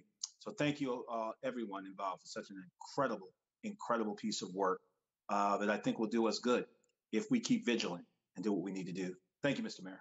Thank you, Council Member. Council Member Freeman. Thank you. I won't echo all the accolades um, that have already been heaped on. I, I agree. I wanted to uh, just take a moment and step to the side on this conversation a little bit, just acknowledging that this evening, um, most if not all of this conversation has been translated into Spanish and and many of our Spanish speaking countries, this might not be the conversation that they're having at this moment. And so I just want to acknowledge that um, there's some there's some differences in the conversations or some some um, just noting that the the time that we're spending in having these conversations builds our community in a stronger way. It builds our our ability to understand and have the knowledge as the subject, subject matter experts spoke this evening. Many of us are not those subject matter experts. And so I appreciate um, all the questions and all of the wherewithal of our staff to get us to this point. And uh, the way in which I know whenever I ask the questions to Indira Everett at Duke Energy, um, I get answers. I just I just want to note that this is a this is a, a very first world issue and a very um, good opportunity to help um, shed light on on how clean energy is a is a huge or a huge aspect of where we are going.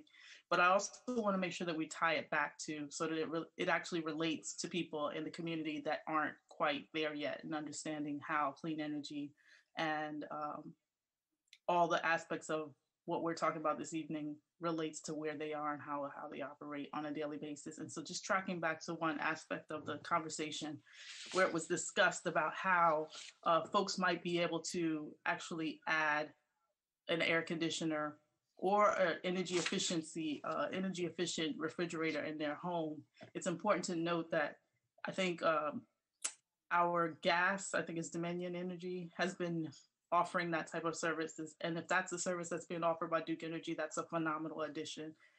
And then also noting that there were there were a couple of other things that uh, I kind of got lost. I know that uh, Steve was talking for a while. I tried to keep up, but um, and sorry about that.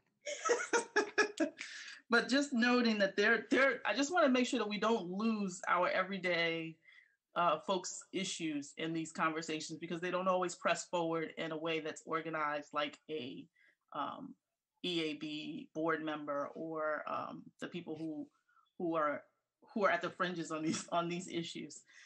But it is important for folks to understand how it relates. And so I just want to make sure that we're also making this this information as readily available to people in the community so that they are following along because when we talk about 3000 lumens and 4000 lumens it can get a little over over like overwhelming. But the the impact that it has is important and I think that the loss that we would we would experience if we don't make sure that this information is available, not just um, in English and in Spanish, but in other languages, but also just just connecting more of the dots so that so that there are more people around this conversation than than just the people who are very focused on energy efficiency or or solar or what have you. I think I'm making, I think I'm going a long way on the way to say that we should all be involved in this conversation and we have to find ways to do that. Thank you, Thank you very much, Council Member. Um, any other questions or comments at this time? I will uh, I, will ask, uh, I, I do want to just follow up a little bit about the lights. Um, this is not our main topic tonight by any means, but we have had a number of people. Uh, Ms. Foreman was here to talk about that, and we've also had uh, a good number of emails. And then, Mr. Judge, uh, yesterday, I believe you sent the memo to us, or uh, maybe it was Friday, it was over the weekend perhaps, um, that spoke to uh, the many of the issues that have been raised about the lighting. And um, I appreciate that very much. Thank you for making that available to us. And um, I've been really uh, holding back on uh, answering uh, a, a, lot of these emails until I had that uh, information which you gave to us recently, but uh, getting that in writing is very helpful. Uh, one of the issues that the folks raise in the in, in terms of the lighting is the health issue, and your memo addresses pretty much everything that people said. Uh, but with the health issue, um, I'm paraphrasing here, basically says, uh, what does it say? It doesn't have a it doesn't have a, a, a clear answer on that. Uh, can you talk to us through about that a little bit? Yes, Bill Judge, Transportation. Um, so we are aware of that 2016 AMA study and recommendation. Uh, to my knowledge, that's there hasn't been any subsequent um, additional information provided by the American Medical Association or any other studies. Um, we have asked Duke Energy about it. Obviously, it's something that is concerning to us, um, but the industry standard, I guess, continues to be the 4,000 Kelvin, even since that study came out. Um, Duke did indicate that the uh, uh, there's a group that um, yeah, sorry, I'm drawing a blank on it, but it's like Illumination Society, yeah, the Illuminating Engineering Society, um, which is sort of the foremost research group related to lighting, has offered to partner with the American Medical Association to do further research, uh, but to my knowledge, nothing has been produced at this point. Um, the 4000 Kelvin, like I said, it's the industry standard. There's probably, yeah, at least, yeah, I won't say it's 100%, but close to 100% of the LED street lights around the country are most likely pretty close to the 4000 Kelvin. Um, there, there's probably a few others that are a little bit different, but um, but it's by far the vast majority. um, including here in Durham. We, we've been using them since uh, late 2014. We had almost a thousand of them installed prior to starting this conversion program. And the conversion program at this point is 85 or 90% complete. Yes, there's a little over 2,000 remaining as of last week. I wasn't able to get an updated number before tonight, but they're anticipating, assuming that there's not significant storms or hurricanes where they have to pull crews off here and during the month of October, that they will likely be finished by around the first of November. And the uh, the shield costs about $100 a piece to put on. Is that correct? Yes, it varies depending on the wattage of the light, but um, the for the vast majority of them, they're just under a hundred dollars. Some of the the larger lights are a little bit more than a hundred dollars, but And the um, talk a little bit about the finances of the lighting replacement. I'm sorry, So- yeah, about the about the current lighting program. Yeah, so I mean, um, the lighting is paid for. There's a monthly fee that um, the city is charged for each light, and that basically Duke owns, maintains, and operates the lighting. Um, so they're responsible for for all maintenance. So the city pays a, a monthly service fee for for each light, and um, that's funded through through the city's general fund through our department. What are the economics of the new lights as go- for for to the city for the city, uh, as opposed to the old lights? So um, for the replacements, they're really it's a, pretty much close to a break even. The uh, some depending on the wattage, some lights we save some money. Other watt other wattages we pay a little bit more. Um, the net reduction or conversion of twenty one thousand had a just a very slight overall increase to our budget, but um, was actually smaller than a typical rate increase. So um, it was really almost basically break even on that. There is a forty dollar conversion fee though, in addition to any of those shields that, that we're paying. So we were able to budget for that. So um, we have to we pay Duke Energy forty dollars for for each light that they're converting. So over the over the um, period of time of the um, conversion process, the expense to the city was, let's see, uh, how many lights? Twenty thousand, Yeah, it was just over 40 is- twenty one thousand. eight hundred thousand dollar uh, over time. Yes, the, so there was a, the, the forty dollar one-time fee was, um, it was eight hundred and some thousand dollars, um, about eight hundred fifty, I think, if I recall with the, um, so, and that's actually Duke, um, there's an option through the North Carolina Utilities Commission where it's actually spread over four years. So we're, we're paying one-fourth of that each year to, to help recoup. And some people have said we should put, you know, we've received some emails that said we should, you know, replace all those lights. Any light that we replace, I assume, would have a also a one-time replacement fee. I mean, not, I- I'm not sure what the other replacement light would be, but Yes, so we do have to, when we get asked for request service on a new light, we do agree to pay for a minimum of thirty-six months of service for that light. So if we were to basically ask them to remove it or retire it early, um, we would be subject to, to paying that thirty-six months of service for whatever the remainder is from the time they, they install it. is that in addition to the forty dollar per light installment fee? That, that would be if, um, like I said, normally it's just billed monthly through a bill that they send to us directly. Um, it, depending whether it's a new pole, existing pole, underground, that they vary, but in general, it's generally about twenty dollars per light per month. And so, so is that then, uh, just to be clear, is that on top of the forty dollar replacement fee would be a twenty dollar per month fee as well? Or is that the same thing as the forty dollar? Yeah, so if we, if there's no light there and we go out and we request them to install a new light, it's about twenty dollars per month per light.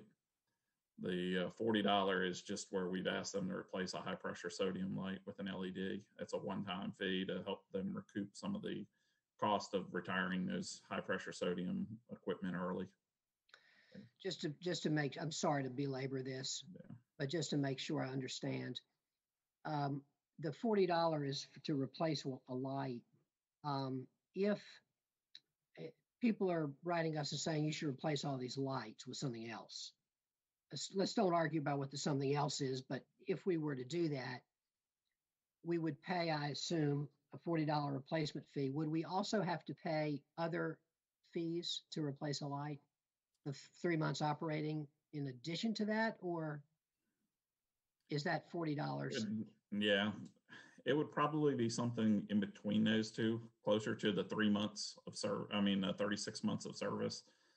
So the forty dollars was, um, a fee that the North Carolina Utilities Commission, not knowing, you know, a light on one street might have only been two or three years old, and a light on another street might have been twenty years old. So it, it was basically just an average for all their equipment throughout Duke Energy's Carolinas in a fee that, that they were allowed to charge. So um, since this is all essentially brand new equipment that's been installed within the, within the last year, I think they would most likely Duke would look for us to, to pay the remainder of that initial 36 months of service. And that thirty-six months of service is payable at how much per month?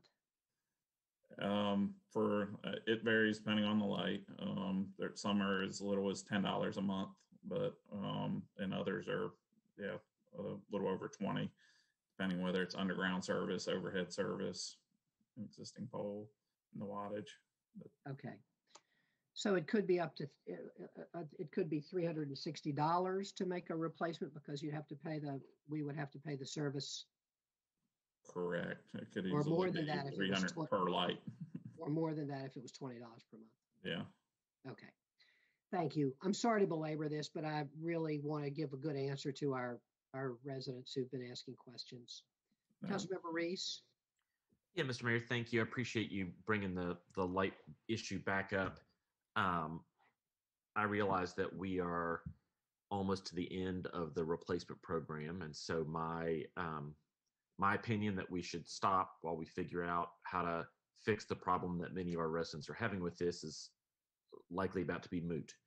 Um, but I do think it makes sense for, and I'm, and I hope that we can figure out what it, what it takes for the folks who live on a street uh, that is serviced by one of these lights to tell the city that they think it's too bright and and figure out how to get a dimmer light in that location. I don't think that's too much to ask. Um, I think it, as you pointed out, it could be expensive. Um, I'd like to see some actual numbers behind it, Mr. Judge. I absolutely trust you and your reading of the contract, but there seemed like there was a lot of estimation going on there, and I'd like to maybe have somebody have a conversation with Duke Energy about what would it actually take to replace one of these bulbs that many of our residents feel are too bright with something that's less bright. So um, I think that may be where I think we ought to be heading uh, with the conversation, um, just because um, you know this is something that we're hearing from a lot of folks, and I, I at least want to know what it takes to help a group of neighbors advocate for that change and what it takes on the city side to make that change a reality. So that's that's my two cents on that. Thank you, Mr. Mayor.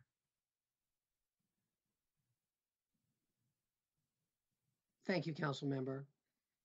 Uh, I appreciate that. And Mr. Judge, maybe you could give that some thought and you all could get back to us on that unless you wanted to offer anything now. Uh, No, I would need to follow up with Duke Energy. As I said, the, the service agreement we signed does specify meant that we would pay for it for a minimum of 36 months. Um, obviously, if, depending on the number of locations, I think, uh, there might be able to negotiate something in between that. Thank you very much. I think that, um, you know, the, yeah. The other question is the, the, um, the baffles, I can't remember what they're called, that, that, that, uh, make the light dimmer. What are they called, Mr. Judge? Yeah, we, they call them shields essentially. Shields, to- to shields, help yeah. Shield the light. Yeah, I mean, I think that that is maybe our cheapest good option. Ms. Page? Uh, Mr. Mayor, uh, the administration would be happy to um, bring a presentation to council later uh, regarding the lights. We've been listening very carefully to all of the questions about the light, lighting. And we will schedule a, a work session uh, presentation uh, that will be responsive to the questions that have come up regarding the. Super. Thank you so much for that. Thank you. Mr. Mayor, I don't know if you can see my hand. Yes, I can, council member. Uh, uh, you're, you're up. Just want to make sure that in that presentation that it's included a way to engage the folks who are around those lights. Because if you're just speaking to one person and then the neighbor wants something different, I don't want to be the one making that decision for, the- for the neighbor, between neighbors. And so I, I, I'm, I'm mindful of how these things happen in many neighborhoods and the folks who are on the negative side are the loudest and folks on the positive side aren't. And I don't want to be in between that. And so I just want to make sure that that conversation is held in a way that's very open and forthright with the people in the community. So thank you. Thank you, council member. Colleagues, I know that I have used way more than my share of time, but I hope you all will forgive me because I don't usually. Um, so, uh, are there any other questions or comments about the um, about the franchise agreement? Uh, Councilmember Freelon. Well, it's not about the franchise agreement, but I was just thinking, um, just off the top of my head about uh, when to tell folks we can expect to have that presentation about the lights. You know, I'm, I'm anticipating a, a response to several of those emails and uh, wanting to give folks, uh, you know, a goalpost to look forward to. Um, maybe that's a question for City Manager Page, or I'm not sure. I believe it is. Thank you. Good question. So uh, as it relates to the timing of it, we um, we do have quite a few presentations coming up uh, at work sessions, so we want to make sure that we're mindful of that. And I'd also like to speak to uh, the um, the staff to see how long it would really take uh, to put put a quality uh, presentation that's responsive to all the questions with with all of the engagement. So um, we can get back with a date. Uh, we could probably have a date uh, just you know uh, for conversation uh, by a date by Thursday as to when we might be ready to come back with that presentation. Thank you. Thank you, council member, and thank you, Ms. Page. Colleagues, if there are no further questions or comments, I'm going to declare this public hearing closed. And the matter is now before the council for a vote. I'm going to ask our city attorney, uh, we have several things to do.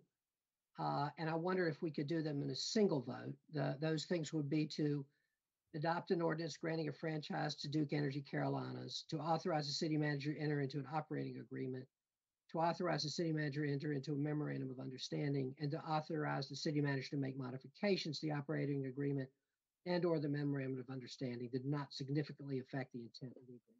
Can we do that in a single motion? Honestly, Mr. Mayor, I, I would prefer that you all take them up in the order in which they're listed sequentially. Gotcha. We'll do that. Okay, thank you.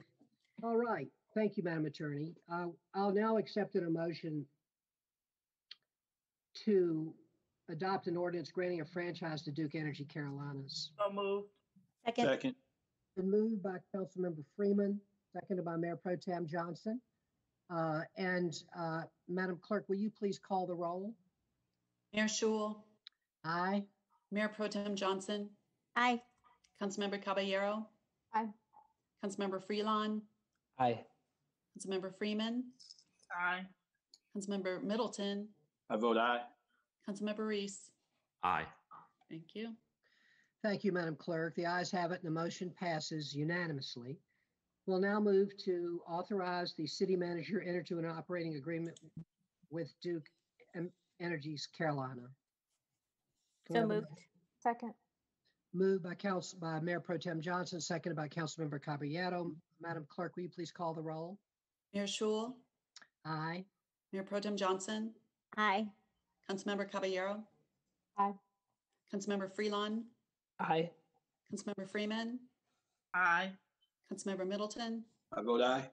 Councilmember Reece. Aye. Thank you. Thank you, Madam Clerk. The ayes have it. The motion passes unanimously. And now we'll move to authorize the city manager to enter to an operating agreement with Duke Energy Carolinas LLC. So moved. Second. Second. Moved by Mayor Pro Tem Johnson, seconded by Councilmember Reece. Madam Clerk, please call the roll. Mayor Schewel, Aye. Mayor Pro Tem Johnson, Aye. Councilmember Caballero, Aye.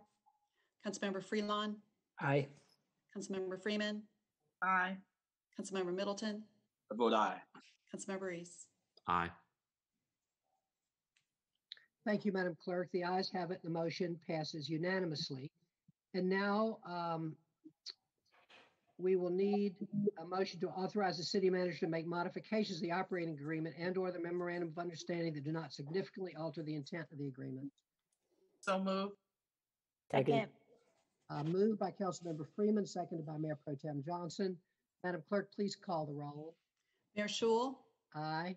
Mayor Pro Tem Johnson, Aye. Councilmember Caballero, Aye. Councilmember Freelon, Aye. Councilmember Freeman, Aye. Councilmember Middleton, I vote aye. Councilmember Reece. Aye. Thank you. Thank you, Madam Clerk. I believe those are all the motions that we need. I want to one more time thank our uh, negotiating partners and our community partners at Duke Energy. I want to thank all the people and our staff who've done such an amazing job, City Attorney's Office, General Services, and others. And I want to thank our community members, uh, as Councilmember Reece put it so eloquently, who have helped us.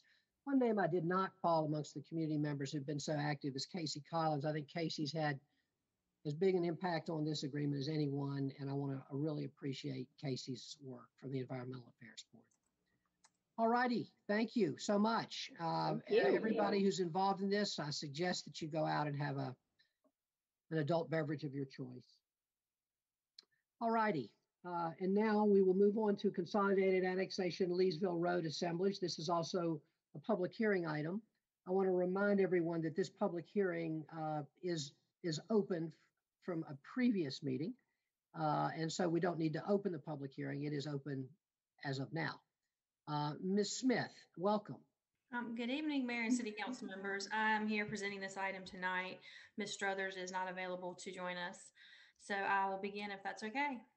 Yes, please. Okay. So I'm Grace Smith with the Planning Department, and I will be presenting Leesville Road assemblage. It was continued from City Council meeting on September the 8th. Before I begin, I would like to state for the record that all of the planning department notices have been executed in accordance with state and local law, and the affidavits for those are on file in the planning department. So this is a request for utility extension agreements, voluntary annexation, and a zoning map change from Tim Sivers of Horvath Associates for a total of 11 parcels, generally, generally located at 6325 Leesville Road. 10 of the parcels are part of the zoning map change proposal, while one parcel to the south of Leesville Road has been included to avoid creating a donut hole. Two utility extension agreements have been requested, one for a larger, the larger assemblage and one for 6408 Leesville Road, that's the southern parcel. The annexation petition is for a contiguous expansion of the corporate city limits. The applicant proposes to change the zoning designation of the 10 parcel site from rural residential to planned development residential 3.2.36, 3.236, excuse me, 6, with a development plan committing to a maximum of 344 units. No change is proposed to the future land use map designation of low density residential, which is consistent with the zoning request. If approved, the annexation petition and associated applications would become effective on December 31st, 2020. The city and county operational departments have reviewed this request. The Budget and Management Services Department determined that the proposed annexation will become revenue positive immediately following annexation if it were approved. Additional information on the service and fiscal impacts can be found in the staff report.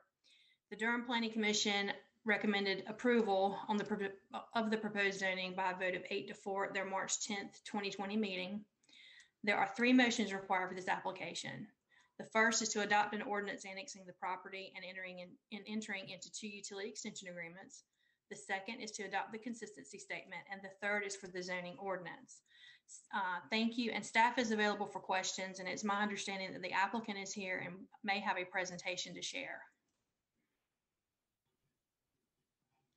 Thank you so much, Ms. Smith. Uh, I, I will remind you all that the public hearing is open. Um, and I have signed up to speak on this item four people, uh, Mr. Tim Sivers, Bao Hong Wan, Jonathan Hayward, and Todd Alsop, I believe, are the four.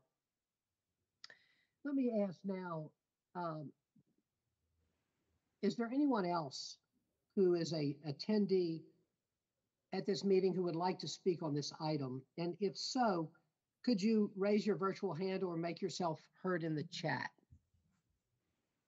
Is there anyone else um, who would like to be heard? Um, I believe that all four people have signed up are proponents and may be part of your team, Mr. Sivers. Madam Clerk, can we make Mr. Sivers available to be heard? He's unmuted.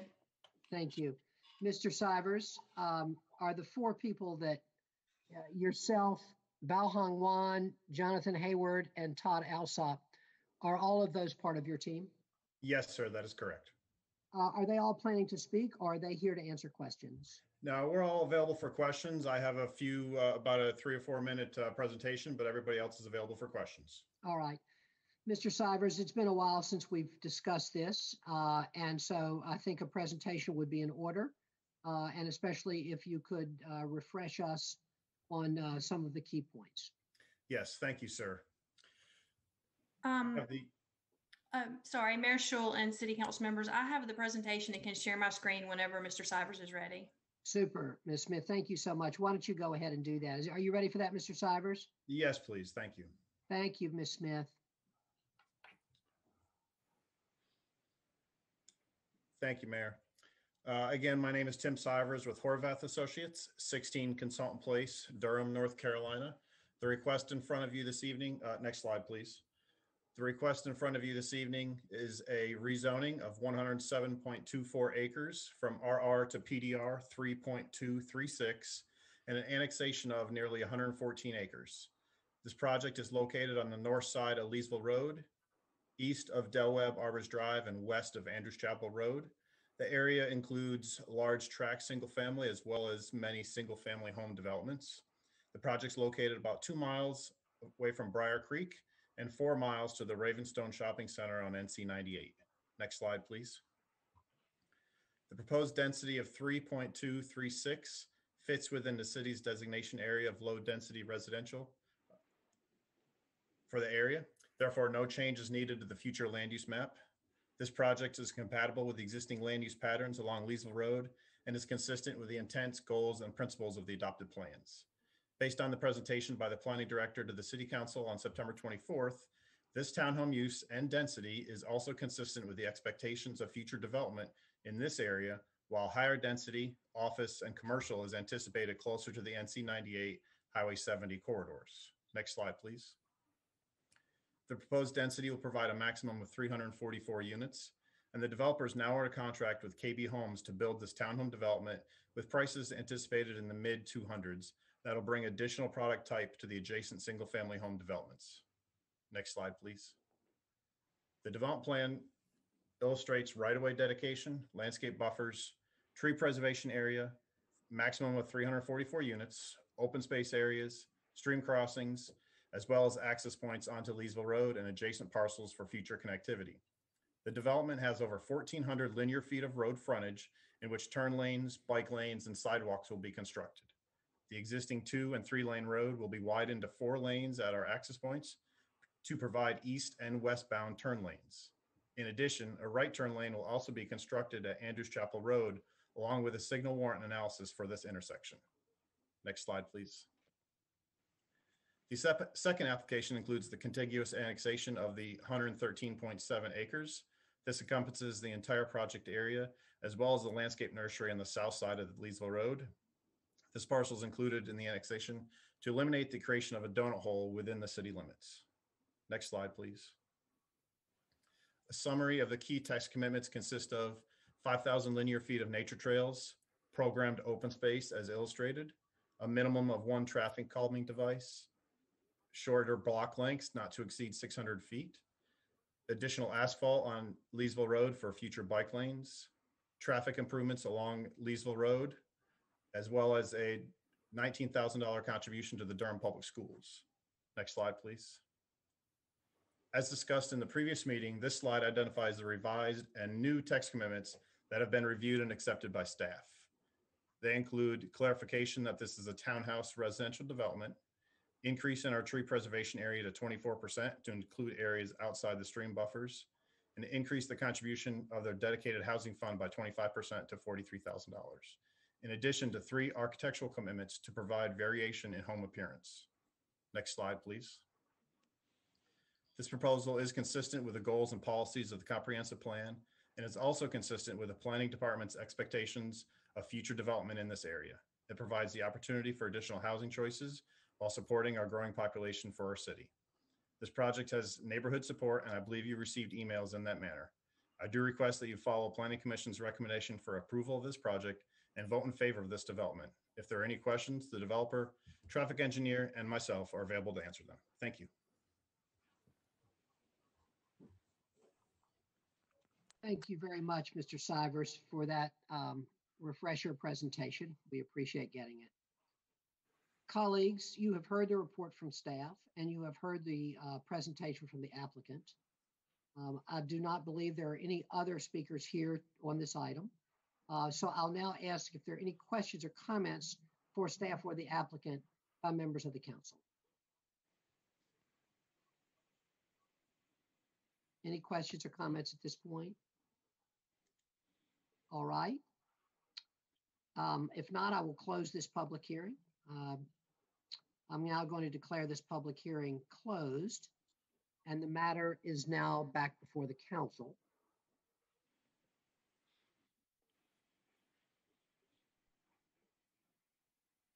Um, there would be three motions necessary on this item. One would be to adopt the ordinance amend annexing Leesville Road assemblage.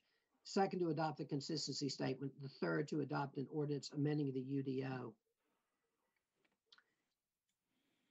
Do I have a motion? Move to adopt the ordinance. Is there a second? Seconded. Moved by Council Member Middleton, seconded by Council Member Freelon, that we adopt the ordinance annexing the Leesville Road assemblage. Uh, Is there any discussion, any more discussion, any comments, council members? Councilmember Caballero? I just wanted to share with colleagues that I did, I was able to watch the work session presentation on Searles and heard the really wonderful discussion afterwards. Staff did not debrief me, but it was because I did not follow up with questions. Previous to the Searles um, presentation, I had spoken with several uh, individual staff members, so I felt um, pretty good after hearing that kind of comprehensive uh, update from both, well, really from all three water, transportation, and planning. And just wanted to thank staff because it was super, super helpful to put all of that, all the different pieces in context and all the great questions that uh, colleagues had afterwards. So I just wanted to thank everyone for that. You're muted, Mr. Mayor. Thank you, Councilmember Caballero. Other que, other comments, um, uh, Councilmember Reece? Thank you, Mr. Mayor. I want to thank uh, staff for bringing this back to us and thank Mr. Sivers for his willingness to let us take a pause before we considered this and a number, a series of other um, projects uh, in this area.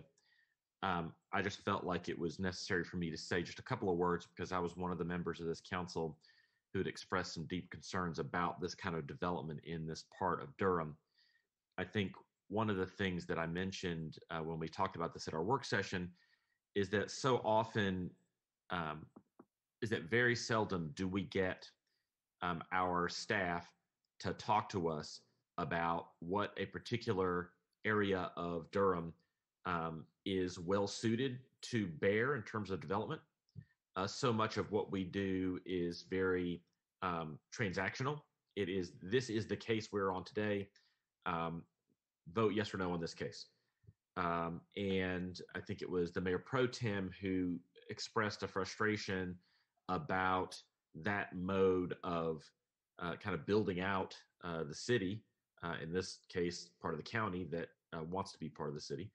Um, and I think that what we that that need that presentation and the conversation we had afterwards was a great example of what I hope we'll start to do more of um, in the weeks and months ahead, because it really gave me a good sense of the the the, the risks and the costs of developing um, these types of projects in this part of Durham and the benefits.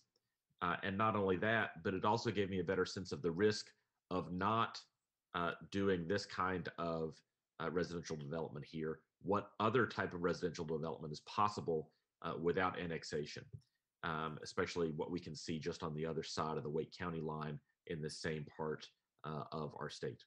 And so, all that having been said, uh, I believe it is in our city's best interest to uh, annex this property pursuant to the to the plan that's before us.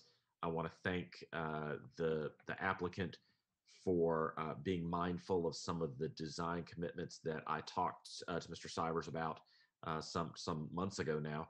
Uh, the types of concerns that are often raised um, by Commissioner Miller uh, at the Planning Commission. Want to appreciate that, and obviously we see the project now in a different light than the Planning Commission did because there was no builder there then, and now there is, uh, and so a lot of those concerns have been addressed, and I tend to support the measure tonight. Thank you, Mr. Mayor. Thank you very much, council member. Any other comments? Mayor Pro Tem? Thank you, Mr. Mayor. Um, just wanted to also appreciate the staff for the comprehensive presentation that we received on the Searles area. I um, feel a lot more comfortable now moving forward with some of these cases and I'm also looking forward to the work that we're going to do um, on the small area plan for for the region. Um, and yeah, I just want to um, agree with Councilmember Reece that it's really nice to have this sort of broad overview of what's happening in an area rather than the kind of piecemeal case by case work that we usually get. And just want to appreciate the staff for that um, big picture and just say I found it very helpful. Thanks. Thank you, Madam Mayor Pro Tem. Any other comments before we vote? Uh, Councilmember Freeman? Thank you. I um I also did follow up with staff as I I had a chance to review the presentation and hear comments, and I have been as torn as I will be moving forward um, on each of these cases, acknowledging that not only do we need small area planning, but we need a comprehensive plan, and acknowledging how fragile our waterways are and where all of this development is the 300 and some odd townhomes in this area just doesn't feel appropriate and i can't afford i unfortunately cannot support moving forward with that. But i do know that the the need for residential um, housing near and close to that border is is important. And uh, just noting that there's there's still a lot of work to work to figure out um, how we move forward in these areas around these um, especially around the waterways, especially the falls of the Neuse. And uh, that's all. Thank you. Thank you, council member. Any further comments? All right, we've had a motion by Councilmember Middleton and a second by Councilmember Freelon that we adopt an ordinance annexing the Leesville Road assemblage into the city. Madam Clerk, will you please call the vote? Mayor Schewel, Aye. Mayor Pro Tem Johnson, Aye. Councilmember Caballero, Aye. Councilmember Freelon, Aye. Councilmember Freeman, Nay. Councilmember Middleton, I vote aye. Councilmember Reece. Aye. Thank you. Thank you, Madam Clerk. Uh, The motion passes six to one. We'll now move to motion two to adopt the consistency statement. Move to adopt consistency. Second. Moved by Councilmember Middleton, seconded by Councilmember Caballero to adopt the consistency statement. Would you call the roll, please, Madam Clerk? Mayor Schewel, Aye. Mayor Pro Tem Johnson, Aye. Councilmember Caballero, Aye. Councilmember Freelon, Aye. Councilmember Freeman, Nay. Councilmember Middleton, I vote aye. Councilmember Reece. Aye. Thank you. Thank you, Madam Clerk. The motion passes six to one. I will now move to motion three to adopt an ordinance amending the UDO. Move to amend the UDO. Second. Moved by Councilmember Middleton, seconded by Mayor Pro Tem Johnson. Madam Clerk, please call the vote, call the roll. Mayor Schewel, Aye. Mayor Pro Tem Johnson, Aye. Councilmember Caballero, Aye. Councilmember Freelon, Aye. Councilmember Freeman, Nay. Councilmember Middleton, I vote aye. Councilmember Reece. Aye. Thank you. Thank you, Madam Clerk. The motion passes six to one. Uh, Ms. Smith, thank you, and thank you, Mr. Sivers. Uh, we appreciate you all being here tonight. Thank you very much, sir. We'll now move to item 29, and also a public hearing item, the consolidated annexation for National National Heritage Academies, NHA Oak Grove Charter. Uh, and um, we will first hear the report from staff. Thank you. Mayor Schewel, Mayor Pro Tem Johnson, honorable council members. Good evening. I'm Alexander Kale with the Planning Department. I'm happy to be here with you. Uh, the applicant has requested a continuance of this consolidated annexation item to the November 2nd City Council meeting. The agent, Neil Ghosh, is available to discuss the reason for this requested continuance on behalf of the applicant. Thank you, Mr. Cahill. Did you say that the applicant would like to give us the reasons? Yes, sir. Uh, Neil Ghosh is on the. Neil Ghosh is here? Sure. Thank you very much, Mr. Cahill. Mr. Ghosh, uh, Madam Clerk, can you make Mr. Ghosh available to be heard? I believe I am available now. Hi, Mr. Ghosh, welcome, uh, and uh, please let us know. Um, uh, we- we'd love to hear from you on this. Sure, and good evening all. This is Neil Ghosh with the Morningstar Law Group. As staff indicated, we are requesting a continuance of this item until the council's November 2nd meeting, uh, primarily so that we can work with staff to make some adjustments to the UEA for this project. I know you all have a long agenda, uh, so unless there's any questions for me, I can leave it at that. I'm just requesting this item to be continued until your November 2nd meeting. And thank you. Thank you, Mr. Ghosh. I appreciate that. So we won't open this public hearing. Uh, Mr. Cahill, we will uh, wait for staff to bring this back to us on November the 2nd. Thank you, Mayor Schewel. Thank you so much. Thank you, Mr. Ghosh. Thank you. Uh, Mayor Schewel? Yes, yes. Hi, sorry to, to, to, to, um, jump in. We actually do have to open the, the he- hearing and continue it until that date, um, if you don't mind. It's I'm for some- glad somebody smarter than me is here. Oh, Thank you, thank Ms. Smith. Um, I'm going to declare this public hearing open. And we will be continuing this public hearing until November the 2nd. Did I, did I hit it that time, Ms. Smith? You're good. Yes, you did. Sorry. Yes, you did. Uh-huh. Thank you. All right, we'll now move to item 30, consolidated item Chin Page Road. And uh, we will first hear the report from staff. Thank you. Good evening, Mayor, council members. I'm Danny Culture with the Planning Department. Uh, Request for a zoning map change for three parcels of land located at 5203, 5321, and 5421 Chin Page Road have been received from Jessica Hardesty. The properties are currently zoned industrial light with a development plan, ILD, and the applicant proposes to change the zoning to office and institutional, OI. There is no development plan associated with this request. The site is des- designated industrial on the future land use map. The applicant seeks, seeks a future land use map amendment to office, which would be consistent with the zoning request. Staff determines that these requests are consistent with the comprehensive plan and applicable policies and ordinances. Three motions are required for this application. The first motion is to adopt a resolution amending the future land use map. The second motion is to adopt a consistency statement, and the third for the zoning ordinance. Thank you. Staff is available for any questions. Thank you very much, Mr. Cultra. Colleagues, you have heard the report from staff, and I'm now going to declare this public hearing open. And I'm first going to ask if there are any questions for members, for, for the staff by members of the council.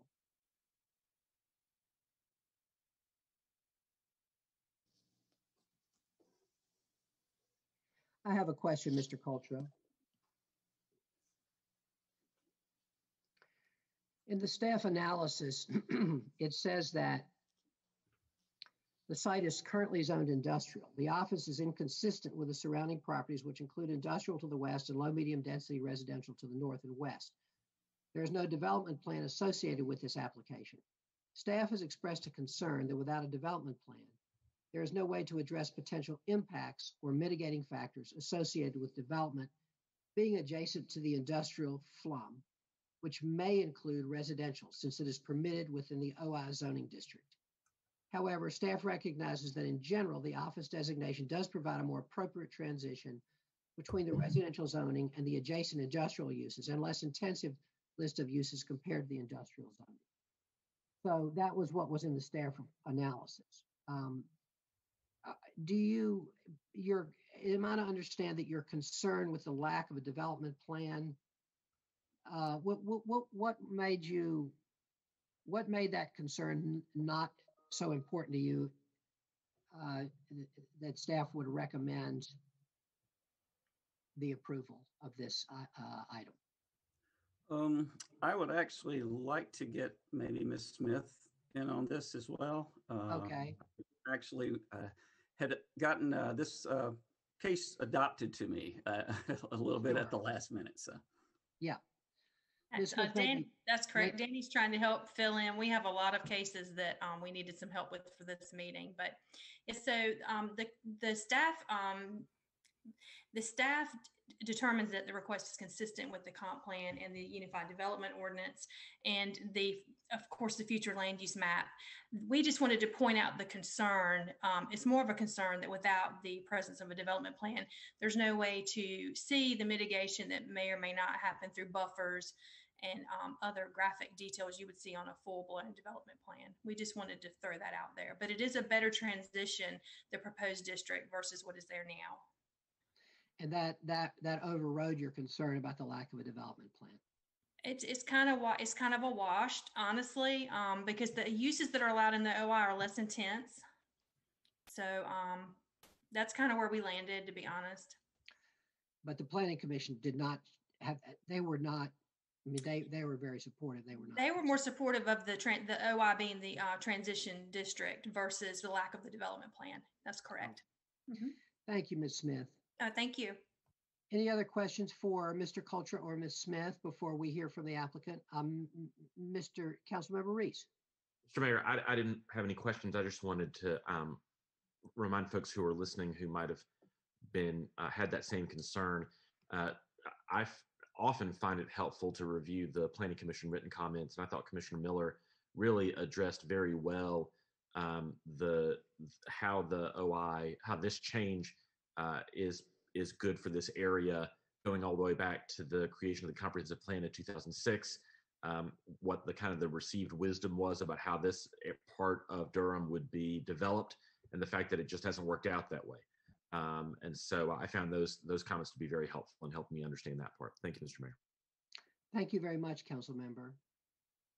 All right, I think we will now hear from uh, the folks who have spoke, signed up to speak on this item. We have five people who have spoken up to speak, I'm sorry, who have signed up to speak. All of them are listing themselves as proponents. And the first one uh, is Jesse Hardesty. Uh, Ms. Hardesty, um, Madam Clerk, can you make Ms. Hardesty available to be heard? Good evening, everyone. This is Jesse Hardesty from McAdams. Um, and I actually believe that Patrick Byker will be representing our case tonight if he is available. On the All right, thank you. Uh, we'll hear from Mr. Byker then. Thank you, Ms. Hardesty. Is Mr. Byker available to be heard? Mr. Mayor, I don't see Mr. Byker here this evening. Um, maybe Mr. Ghosh. Mr. Ghosh has his hand raised. I bet you he's the one. Okay. Thank you. Mr. Ghosh, are you, No. Are you, the are you the representing the applicant tonight? It, it's Patrick here. Is this, uh? Oh, okay. I have no idea how these things work. The way This it's is worked way is above that my we- pay grade. We see you as Mr. Ghosh, but we know your voice and we believe that you are Mr. Indeed, Mr. Byker. He has much nicer hair than I have, I will say that. I, I have to agree with that. Um, okay. Um, Mr. Byker, I see five people have signed up. Are all of them planning to speak? I'm trying to figure out the time here. Or are some of them here to answer questions? Um, Mayor Schewel, I believe that I'll give, I would like to give just a two, two or three minute, uh, overview of the project. Uh, then, Uh, Jessica Hardesty and Rob Griffin from uh, Tri Properties are here to answer questions. And then I believe we have a couple of our neighbors from uh, Creekside who uh, wish to speak. Uh, so I, I, I can't speak for them, but as far as uh, Mr. Griffin and Ms. Hardesty, uh, simply here to answer questions. All right. And then I believe Mr. Gallman said he does not want to speak, but also there's a Mr. Kevin Walls. Uh, and let's find out first before we go ahead if Mr. Walls would like to be heard tonight. Mr. Walls? Um, let me see if, is Mr. Walls still here? Mr. Mayor, I think he departed. All right. Thank you, Madam Clerk. Okay, Mr. Byker, I believe that um, you're on and um, and then you can ask. Uh, yeah, and I believe that I believe the other people are just here to answer questions. So, uh, Mr. Byker, uh, please go ahead and make your presentation. Thank you. Good evening, Mayor Schewel, Mayor Pro Tem Johnson, members of the City Council. I'm Patrick Byker with Morningstar Law Group. I live at 2614 Stewart Drive. I'm here tonight representing Tri Properties for this agenda item. Again, uh, with us tonight from Tri Properties uh, is Rob Griffin, the Associate Director of Development, and as long as well as our site designer Jessica Hardesty of McAdams. It's been my privilege to work with Tri Properties on the Bethpage development for the past 14 years. Back around 2006, Tri Properties was our lead office and industrial developer for Bethpage, an assemblage of property that amounted to about 450 acres located in fairly close proximity to RTP and RDU Airport.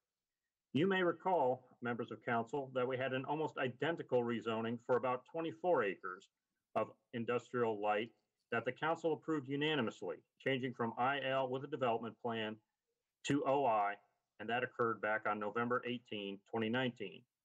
While tonight is pretty much the exact same thing, except that the parcels for tonight's rezoning only amount to 8.83 acres. We think the OI zoning district is a better fit for the adjacent Creekside neighborhood, and it allows Tri Properties, one of our leading office developers in Durham, to continue marketing this site for office use. Next, what I would like to discuss briefly is our team's decision not to submit a development plan for this zoning map change to OI. 14 years ago, our team undertook a massive TIA for Bethpage, covering over 400 acres. The Bethpage TIA, as part of the development plan that the county commissioners approved, runs with the land as a part of the zoning. That TIA accounted for potentially high peak hour traffic generation from these 8.83 acres within the IL zoning district. Any use allowed under the OI zoning district contemplated in tonight's agenda item would be equal to or less than what we accounted for in the original TIA. In fact, the staff report states that the, the anticipated traffic generation will, will be reduced by over 2,600 trips per day. Also, since Tri Properties does not have an end user at this time, it's impossible to scope a traffic impact analysis. However, if an end user does come along and a TIA is required, it will be done in conjunction with the site plan. Please keep in mind Durham City ordinances, including but not limited to the UDO, place limits on this site in regards to noise, lighting, building height of no more than 50 feet, and a significant project boundary buffer under UDO section 9.4. I think it was due to all these reasons that the Planning Commission gave us a unanimous thumbs up on July 14, 2020. And now, um, if one of our neighbors from Creekside would like to share their comments, uh, we would certainly appreciate that. Uh, my understanding from Mr. Walls is that uh, uh he did uh, canvass the neighborhood and did not find any opposition to this request. And in fact, it was widely supported. We'll be happy to answer any questions you have tonight, and we respectfully ask for your approval. Thank you. Thank you, Mr. Byker. Um, I don't see Mr. Walls here, but thank you for that information. All right. Uh, is there anyone else that would like to be heard on this item? If so, please let us know in the chat. All right. Um, colleagues, uh, are there any questions or comments for staff or the applicant at this time? All right, hearing none, I'm going to declare this public hearing closed and the matter is back before the council. Uh, This will require three motions for approval. Uh, The first is to adopt a resolution amending the future land use map. Move to adopt. Is there a second? Second. Moved by Councilmember Middleton, seconded by Councilmember Freelon. Madam Clerk, will you please call the roll? Mayor Schewel, Aye. Mayor Pro Tem Johnson, Excuse me. Aye. Councilmember Caballero, Aye. Coun- Councilmember Freelon, Aye. Councilmember Freeman.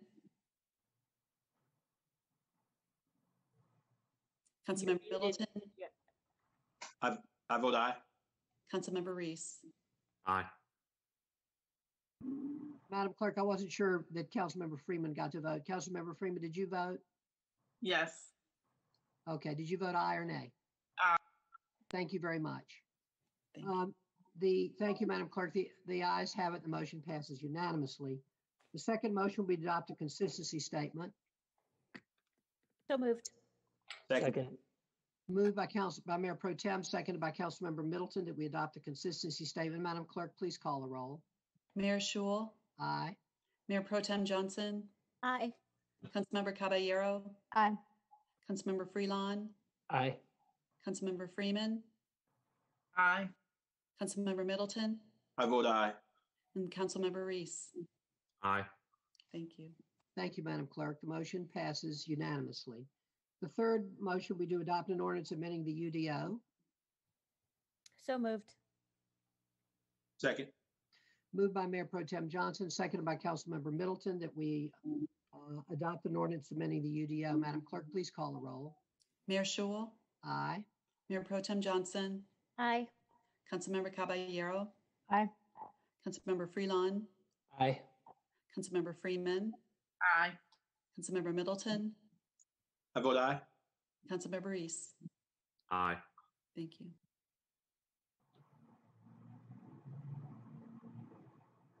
Thank you, Madam Clerk. The motion passes unanimously. Mr. Byker, thank you to you and your, you and your team. We appreciate uh, having you here tonight. Thank you so much. Appreciate y'all, appreciate y'all tonight. Sure, and thank you, Mr. Cultra, for stepping in. All right, uh, we'll now move to item 31, also a public hearing item, Z190045 1310 West- North 54.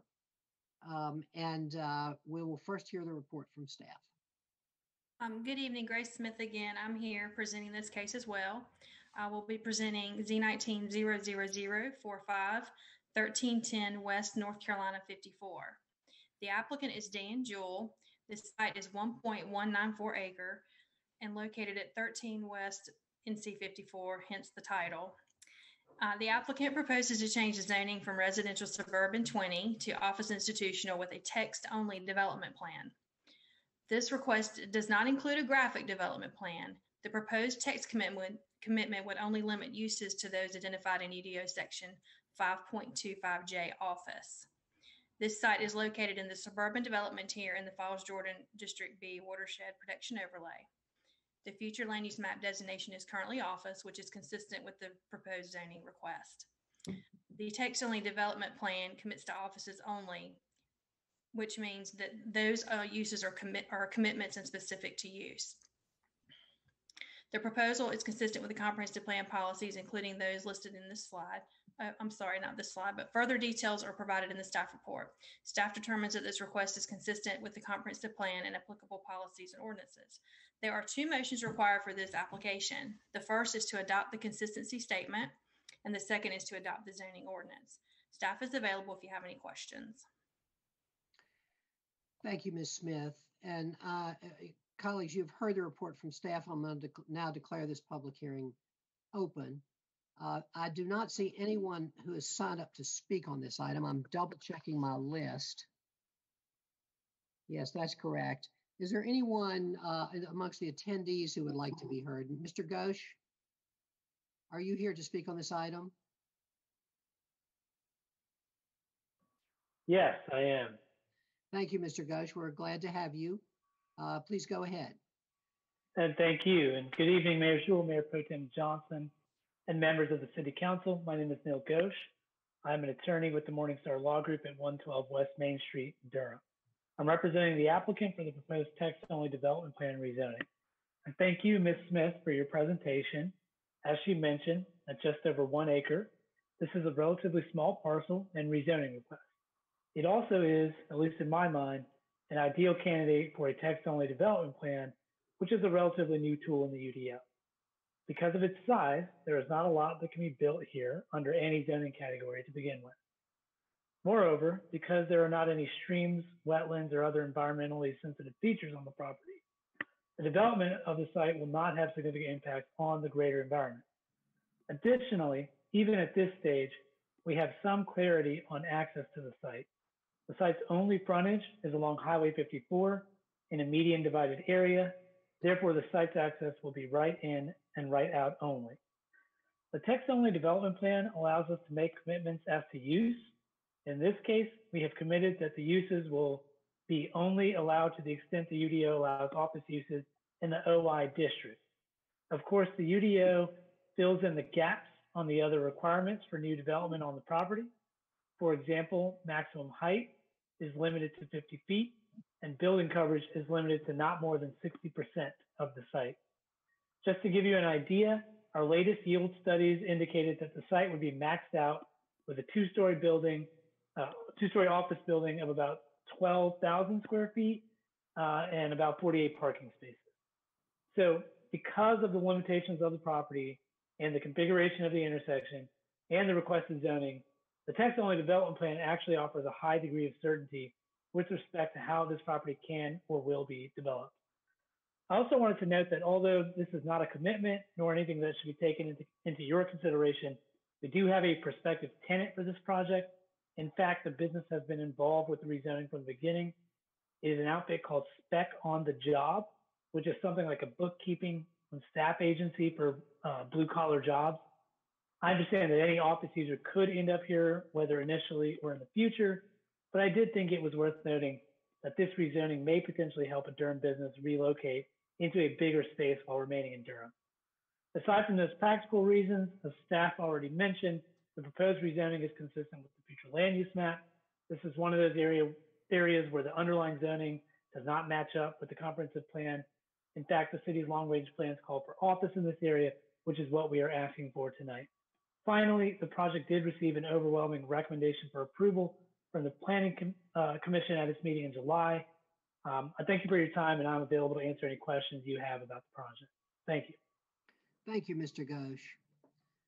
Colleagues, you have heard the report from staff. I've opened the public hearing. You've now heard the uh, report, the uh, presentation from the applicant. Uh, there's no one else here to speak on this item. So now let me ask uh, colleagues if there are any questions or comments that you all have for staff or the applicant at this time. Mayor Pro Tem? Thank you. Uh, could our staff just kind of refresh my memory on the text only development plan um, option and like what that what is missing from that that would be in a in a development plan? Sure, I'll be glad to, Madam Pro Tem.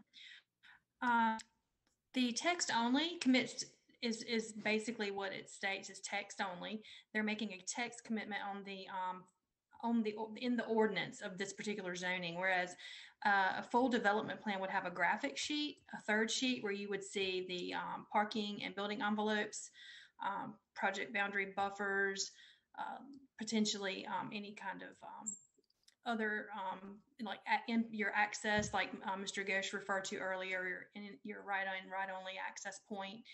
You're just missing that third sheet with the graphic illustrations that you would normally see on a full development plan. And the text only commits just to the uses only. Got it. Thank you. So they're so they can't make commitments in a text only development plan. Like you can't you can't make the same commitments that you would in a full development plan. You can only make commitments as regards the use. That is correct. It's Okay. a use commitment only. Mhm. Thank you. Thank you. Thank you for asking that question. Uh, That was very helpful. Um, Councilmember Reece. Thank you, Mr. Mayor. I don't have any questions for staff or the applicant. I just wanted to mention that, excuse me, um, there was a big part of my life where I drove past this location every single day, uh, at least twice a day, uh, because my girls uh, started school at Hope Valley Preschool, uh, which is about a block and a half uh, towards Chapel Hill on 54. Um, and during that time, I stopped all, basically every week at the dry cleaners on the corner that's going that's adjacent to this piece of property. Uh, I always wondered what in the world is happening with that little piece of property there, and now I know. Uh, they haven't known what to do with it either. So, but here they are. Uh, they figured it out. Uh, they're going to do this. Uh, I think it's fantastic. I did ha- have some initial concerns about uh, access in and out because I know from personal experience uh, it's kind of a hassle, um, especially since they installed the concrete median. You may have heard someone mention, um, but they've addressed those concerns, and I'll be happy to support the measure. Thank you, Mr. Mayor. Thank you, Council Member. Any other comments or questions? Councilmember Freeman. Yes, thank you. I appreciate um, Councilmember Reece uh, bringing back the memories, all flooding through. I also um, have dri- driven to and from. That location is specific. So I know, um, just to Mayor Pro Tem's comment, if there were uh, bordered um, residential or other um, folks around that that property, I probably would have a little bit more angst about supporting this, but I don't for this particular case. Uh, based on where it's located. So thank you very much. Thank you, Council Member. Colleagues, any more comments or questions? All right, uh, if not, I'm going to declare this public hearing closed and the matter is back before the council. We'll need two motions to approve this, one to adopt a consistency statement. So moved. Is there a second? Second. Moved by Councilmember Freelon, seconded by Mayor Pro Tem Johnson, that we approve the, that we adopt a consistency statement. Madam Clerk, will you please call the roll?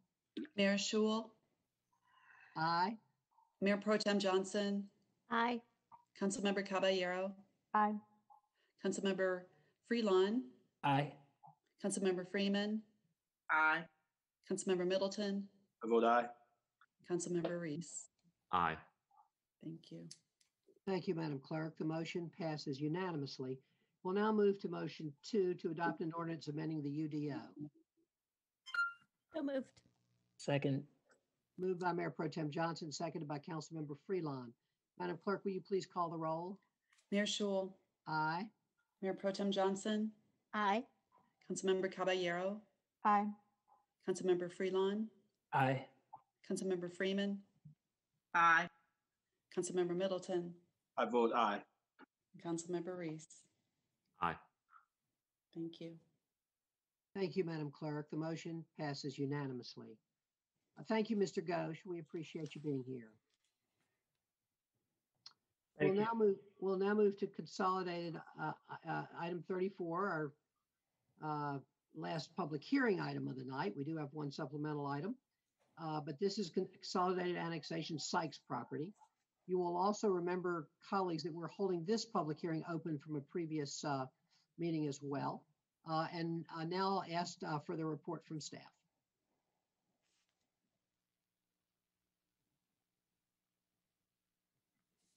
Good evening, it's me again. You're getting to see a lot of me tonight. We're glad to see you, Ms. Smith. Oh, I'm so glad. Uh, I'm happy to be here. So, um, yes, this case, uh, Gra- Grace Smith with the Planning Department, this case was continued from the September 21st meeting. It's a request for utility extension agreement, voluntary annexation, and initial zoning map change from Jessica Hardesty of McAdams for two parcels located at 7008 and 7012 Leesville Road, totaling 40.36 acres. The annexation petition is, is for a contiguous, ex- contiguous expansion of the corporate city limits. There is a conservation subdivision associated with this case uh, for 80 single-family lots. You, we had, um, you should see that, I think it's attachment 16 for you. It was attachment 14 in our staff report. Um, This site is presently zoned rural residential, and the staff recommends an exact translation of the zoning designation. The proposed annexation area is designated as low-density residential and recreation open space on the comprehensive plan, which is consistent with the zoning request. If approved, this request will become effective December 31st, 2020. The motions on this item may have stated September 30th, but we've corrected it everywhere else throughout the item except for maybe in the motion that was on, published on the agenda. We apologize for that mistake, but it, the effective date would be December 31st, 2020. City and county operational departments such as solid waste, fire, police, EMS have all reviewed the request and the potential impact of this annexation at full build out while it's not yet known, could result in some reduction of level of service provided by the police department. The Public Works and Water Management Departments have determined that the existing city and water and sanitary sewer system have capacity for the proposed development. The Budget and Management Services Department determined that the proposed annexation will become revenue positive immediately following the annexation. Additional information uh, can be found in the staff report. There are three motions required for this application. The first is to adopt the ordinance annexing the property and to, and entering into the utility extension agreement. And the second is to adopt the consistency statement, while the third is to approve the zoning ordinance. And staff is available if you have questions. Thank you, Ms. Smith. Again, colleagues, this is a continuation of an existing public, an open public hearing, and you've now heard the report from staff. Uh, I see two people are signed up to speak on this item. Um, Erica Latham and Bob Zum, Zumwalt. Um, and I see that they are both here. Um, Madam Clerk, it looks like Ms. Zu- Mr. Zumwalt's been made available to speak. Mr. Zumwalt, are you with us? I am. Thank you. I'm really just here for questions, so I, I don't need to make a statement. Thank you so much, though. How about Ms. Latham? I'm here also. I don't know if someone can make Nell available, but I think he can speak for us too. Sure, yes. Uh, Madam Clerk, can you make Mr. Ghosh available? I think, can you guys hear me now? Yes, we can. Welcome. And good evening again. I'm still Neil Ghosh at the Morningstar Law Group at 112 West Main Street. You've also heard that Erica Latham of MI Homes and Bob Zumwalt from McAdams are also on the call. Um, so you all heard about this item at your September 21st meeting, but asked to delay the vote on this item in anticipation of staff's presentation to you all about the Searles area at the work session on the 24th. This is one of those projects in the Searles area that got delayed. I think we spoke at length about this project last time, so I will try to be brief, but I did want to reiterate a few things. Without a development plan, we're unable to make certain commitments.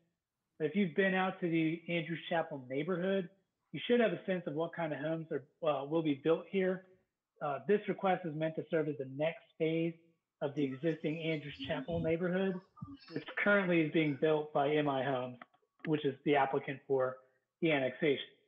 I think it is important to note, as I did last time, that this acreage does have some environmental features on it, which is one of the reasons why conservation subdivision makes sense on this property. There is no doubt that through a development plan rezoning, it would be possible to get more homes on this property. Unfortunately, doing so would require environmental impacts that simply are not warranted. Uh, under the current approved conservation subdivision plan for this property, there are about 20 acres shown for preservation, and of those 20 acres, nine are not impacted by any environmental feature.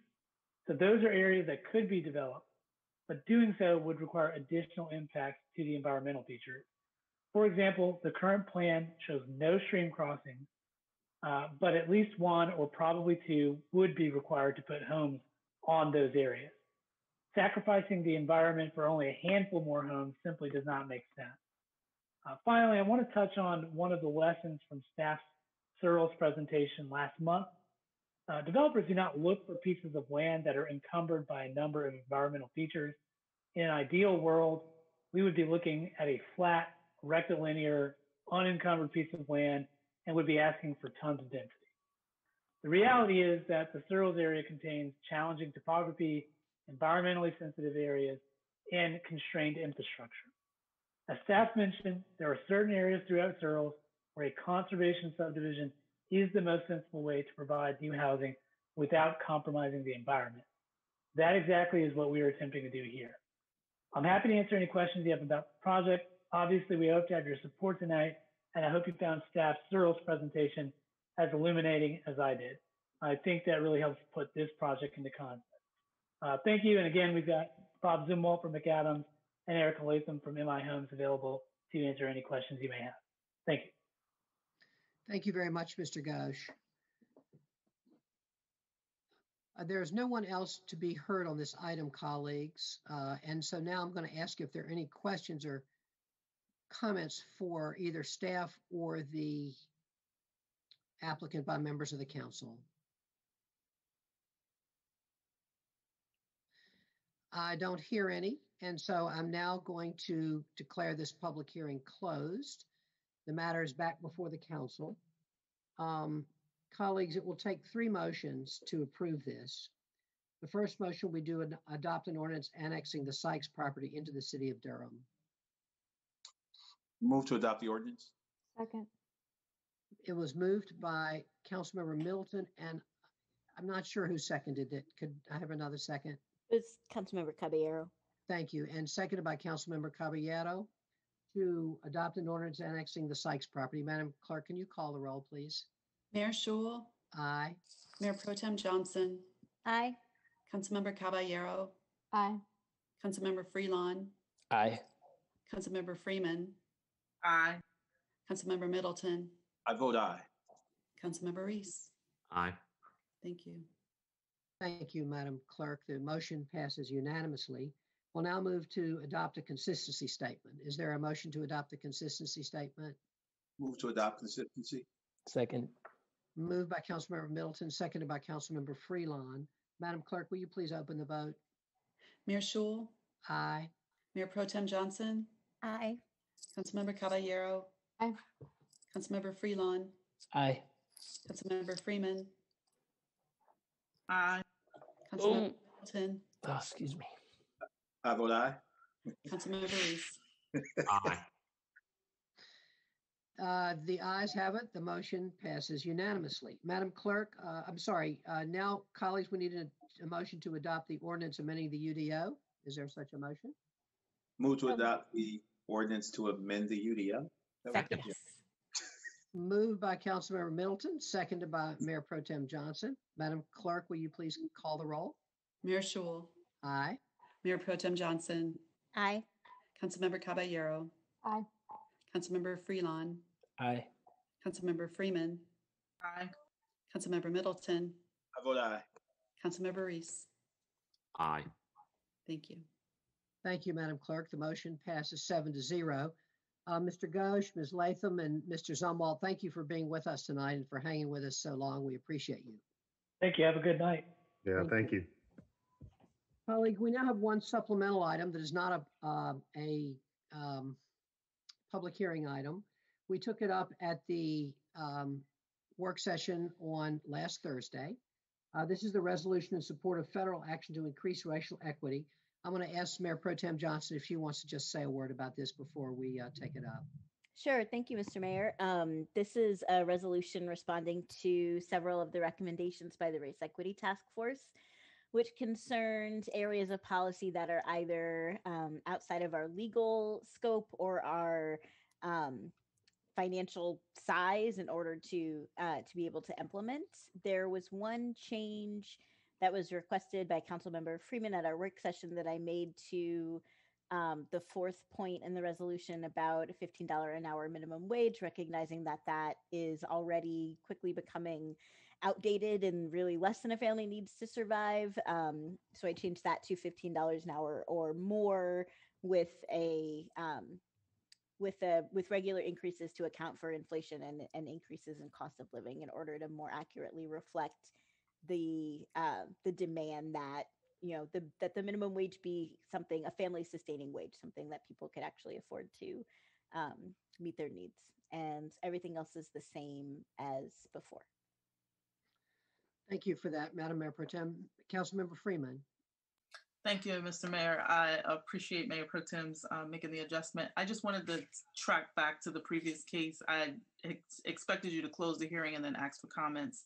And um, I think we missed that. But I just, just wanted to note that in that previous case, acknowledging that it's a much smaller swath of land and that there were a number of commitments that were made uh, on that conservation district, I felt like that was a much better deal or much better plan than the previous um, plan that I did not support.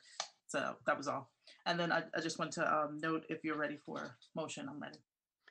Thank you. I apologize, council member. I certainly would have been happy to have had those remarks, but I see Mr. Ghosh is still here and was able to hear them, so thank you. Um, Councilmember Reece, Mr. Mayor, I agree with what Councilmember Freeman said about the last case. And I'll second her motion. all righty. Uh, Councilmember Freeman, let, let's uh, go ahead. Councilmember Freeman, would you like to make a, a motion that we uh, approve this resolution? I'd like to make a motion that we approve the resolution in support of the federal action to increase race equity. And that's I would like to second that motion, Mr. Mayor. seconded by Councilmember Reece. Any other Discussion? comments? Yes, Mr. Councilmember Mayor. Middleton.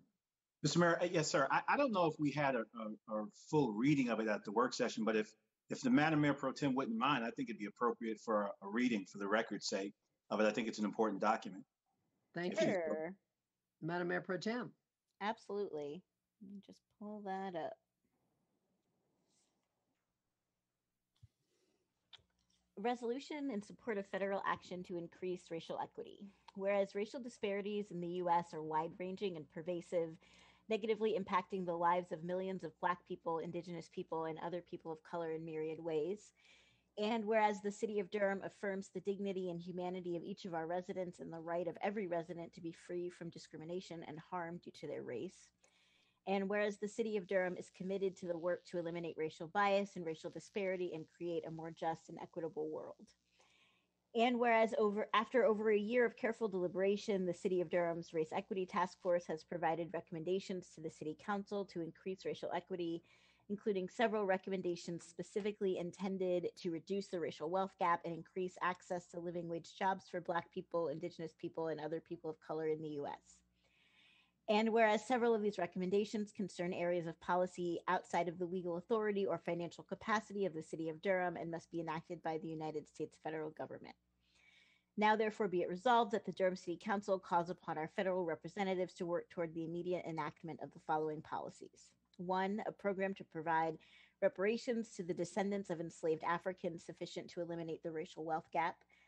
Two, a program to provide a universal basic income to all citizens sufficient to meet each person's basic needs.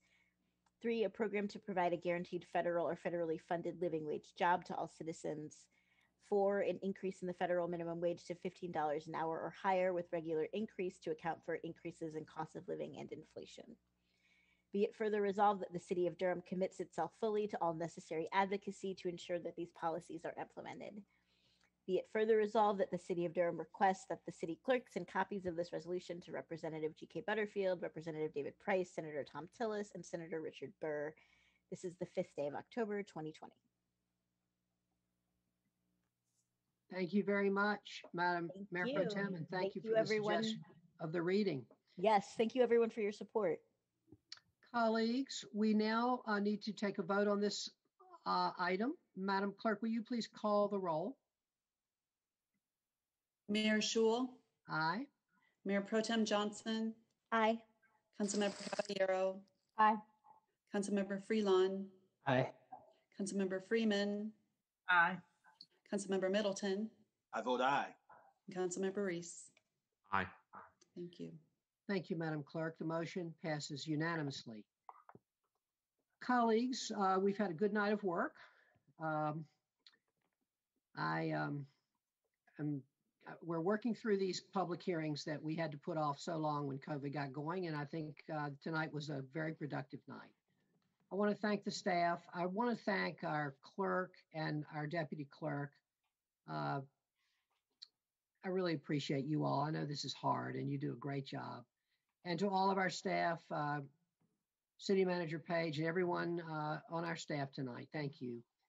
I'm now going to declare this meeting adjourned at 9:52 PM. Colleagues, uh, thank you very much. Thank you. Have a good evening. Bye. Wave. It's Zoom. Wave. Bye bye. All right. See y'all later.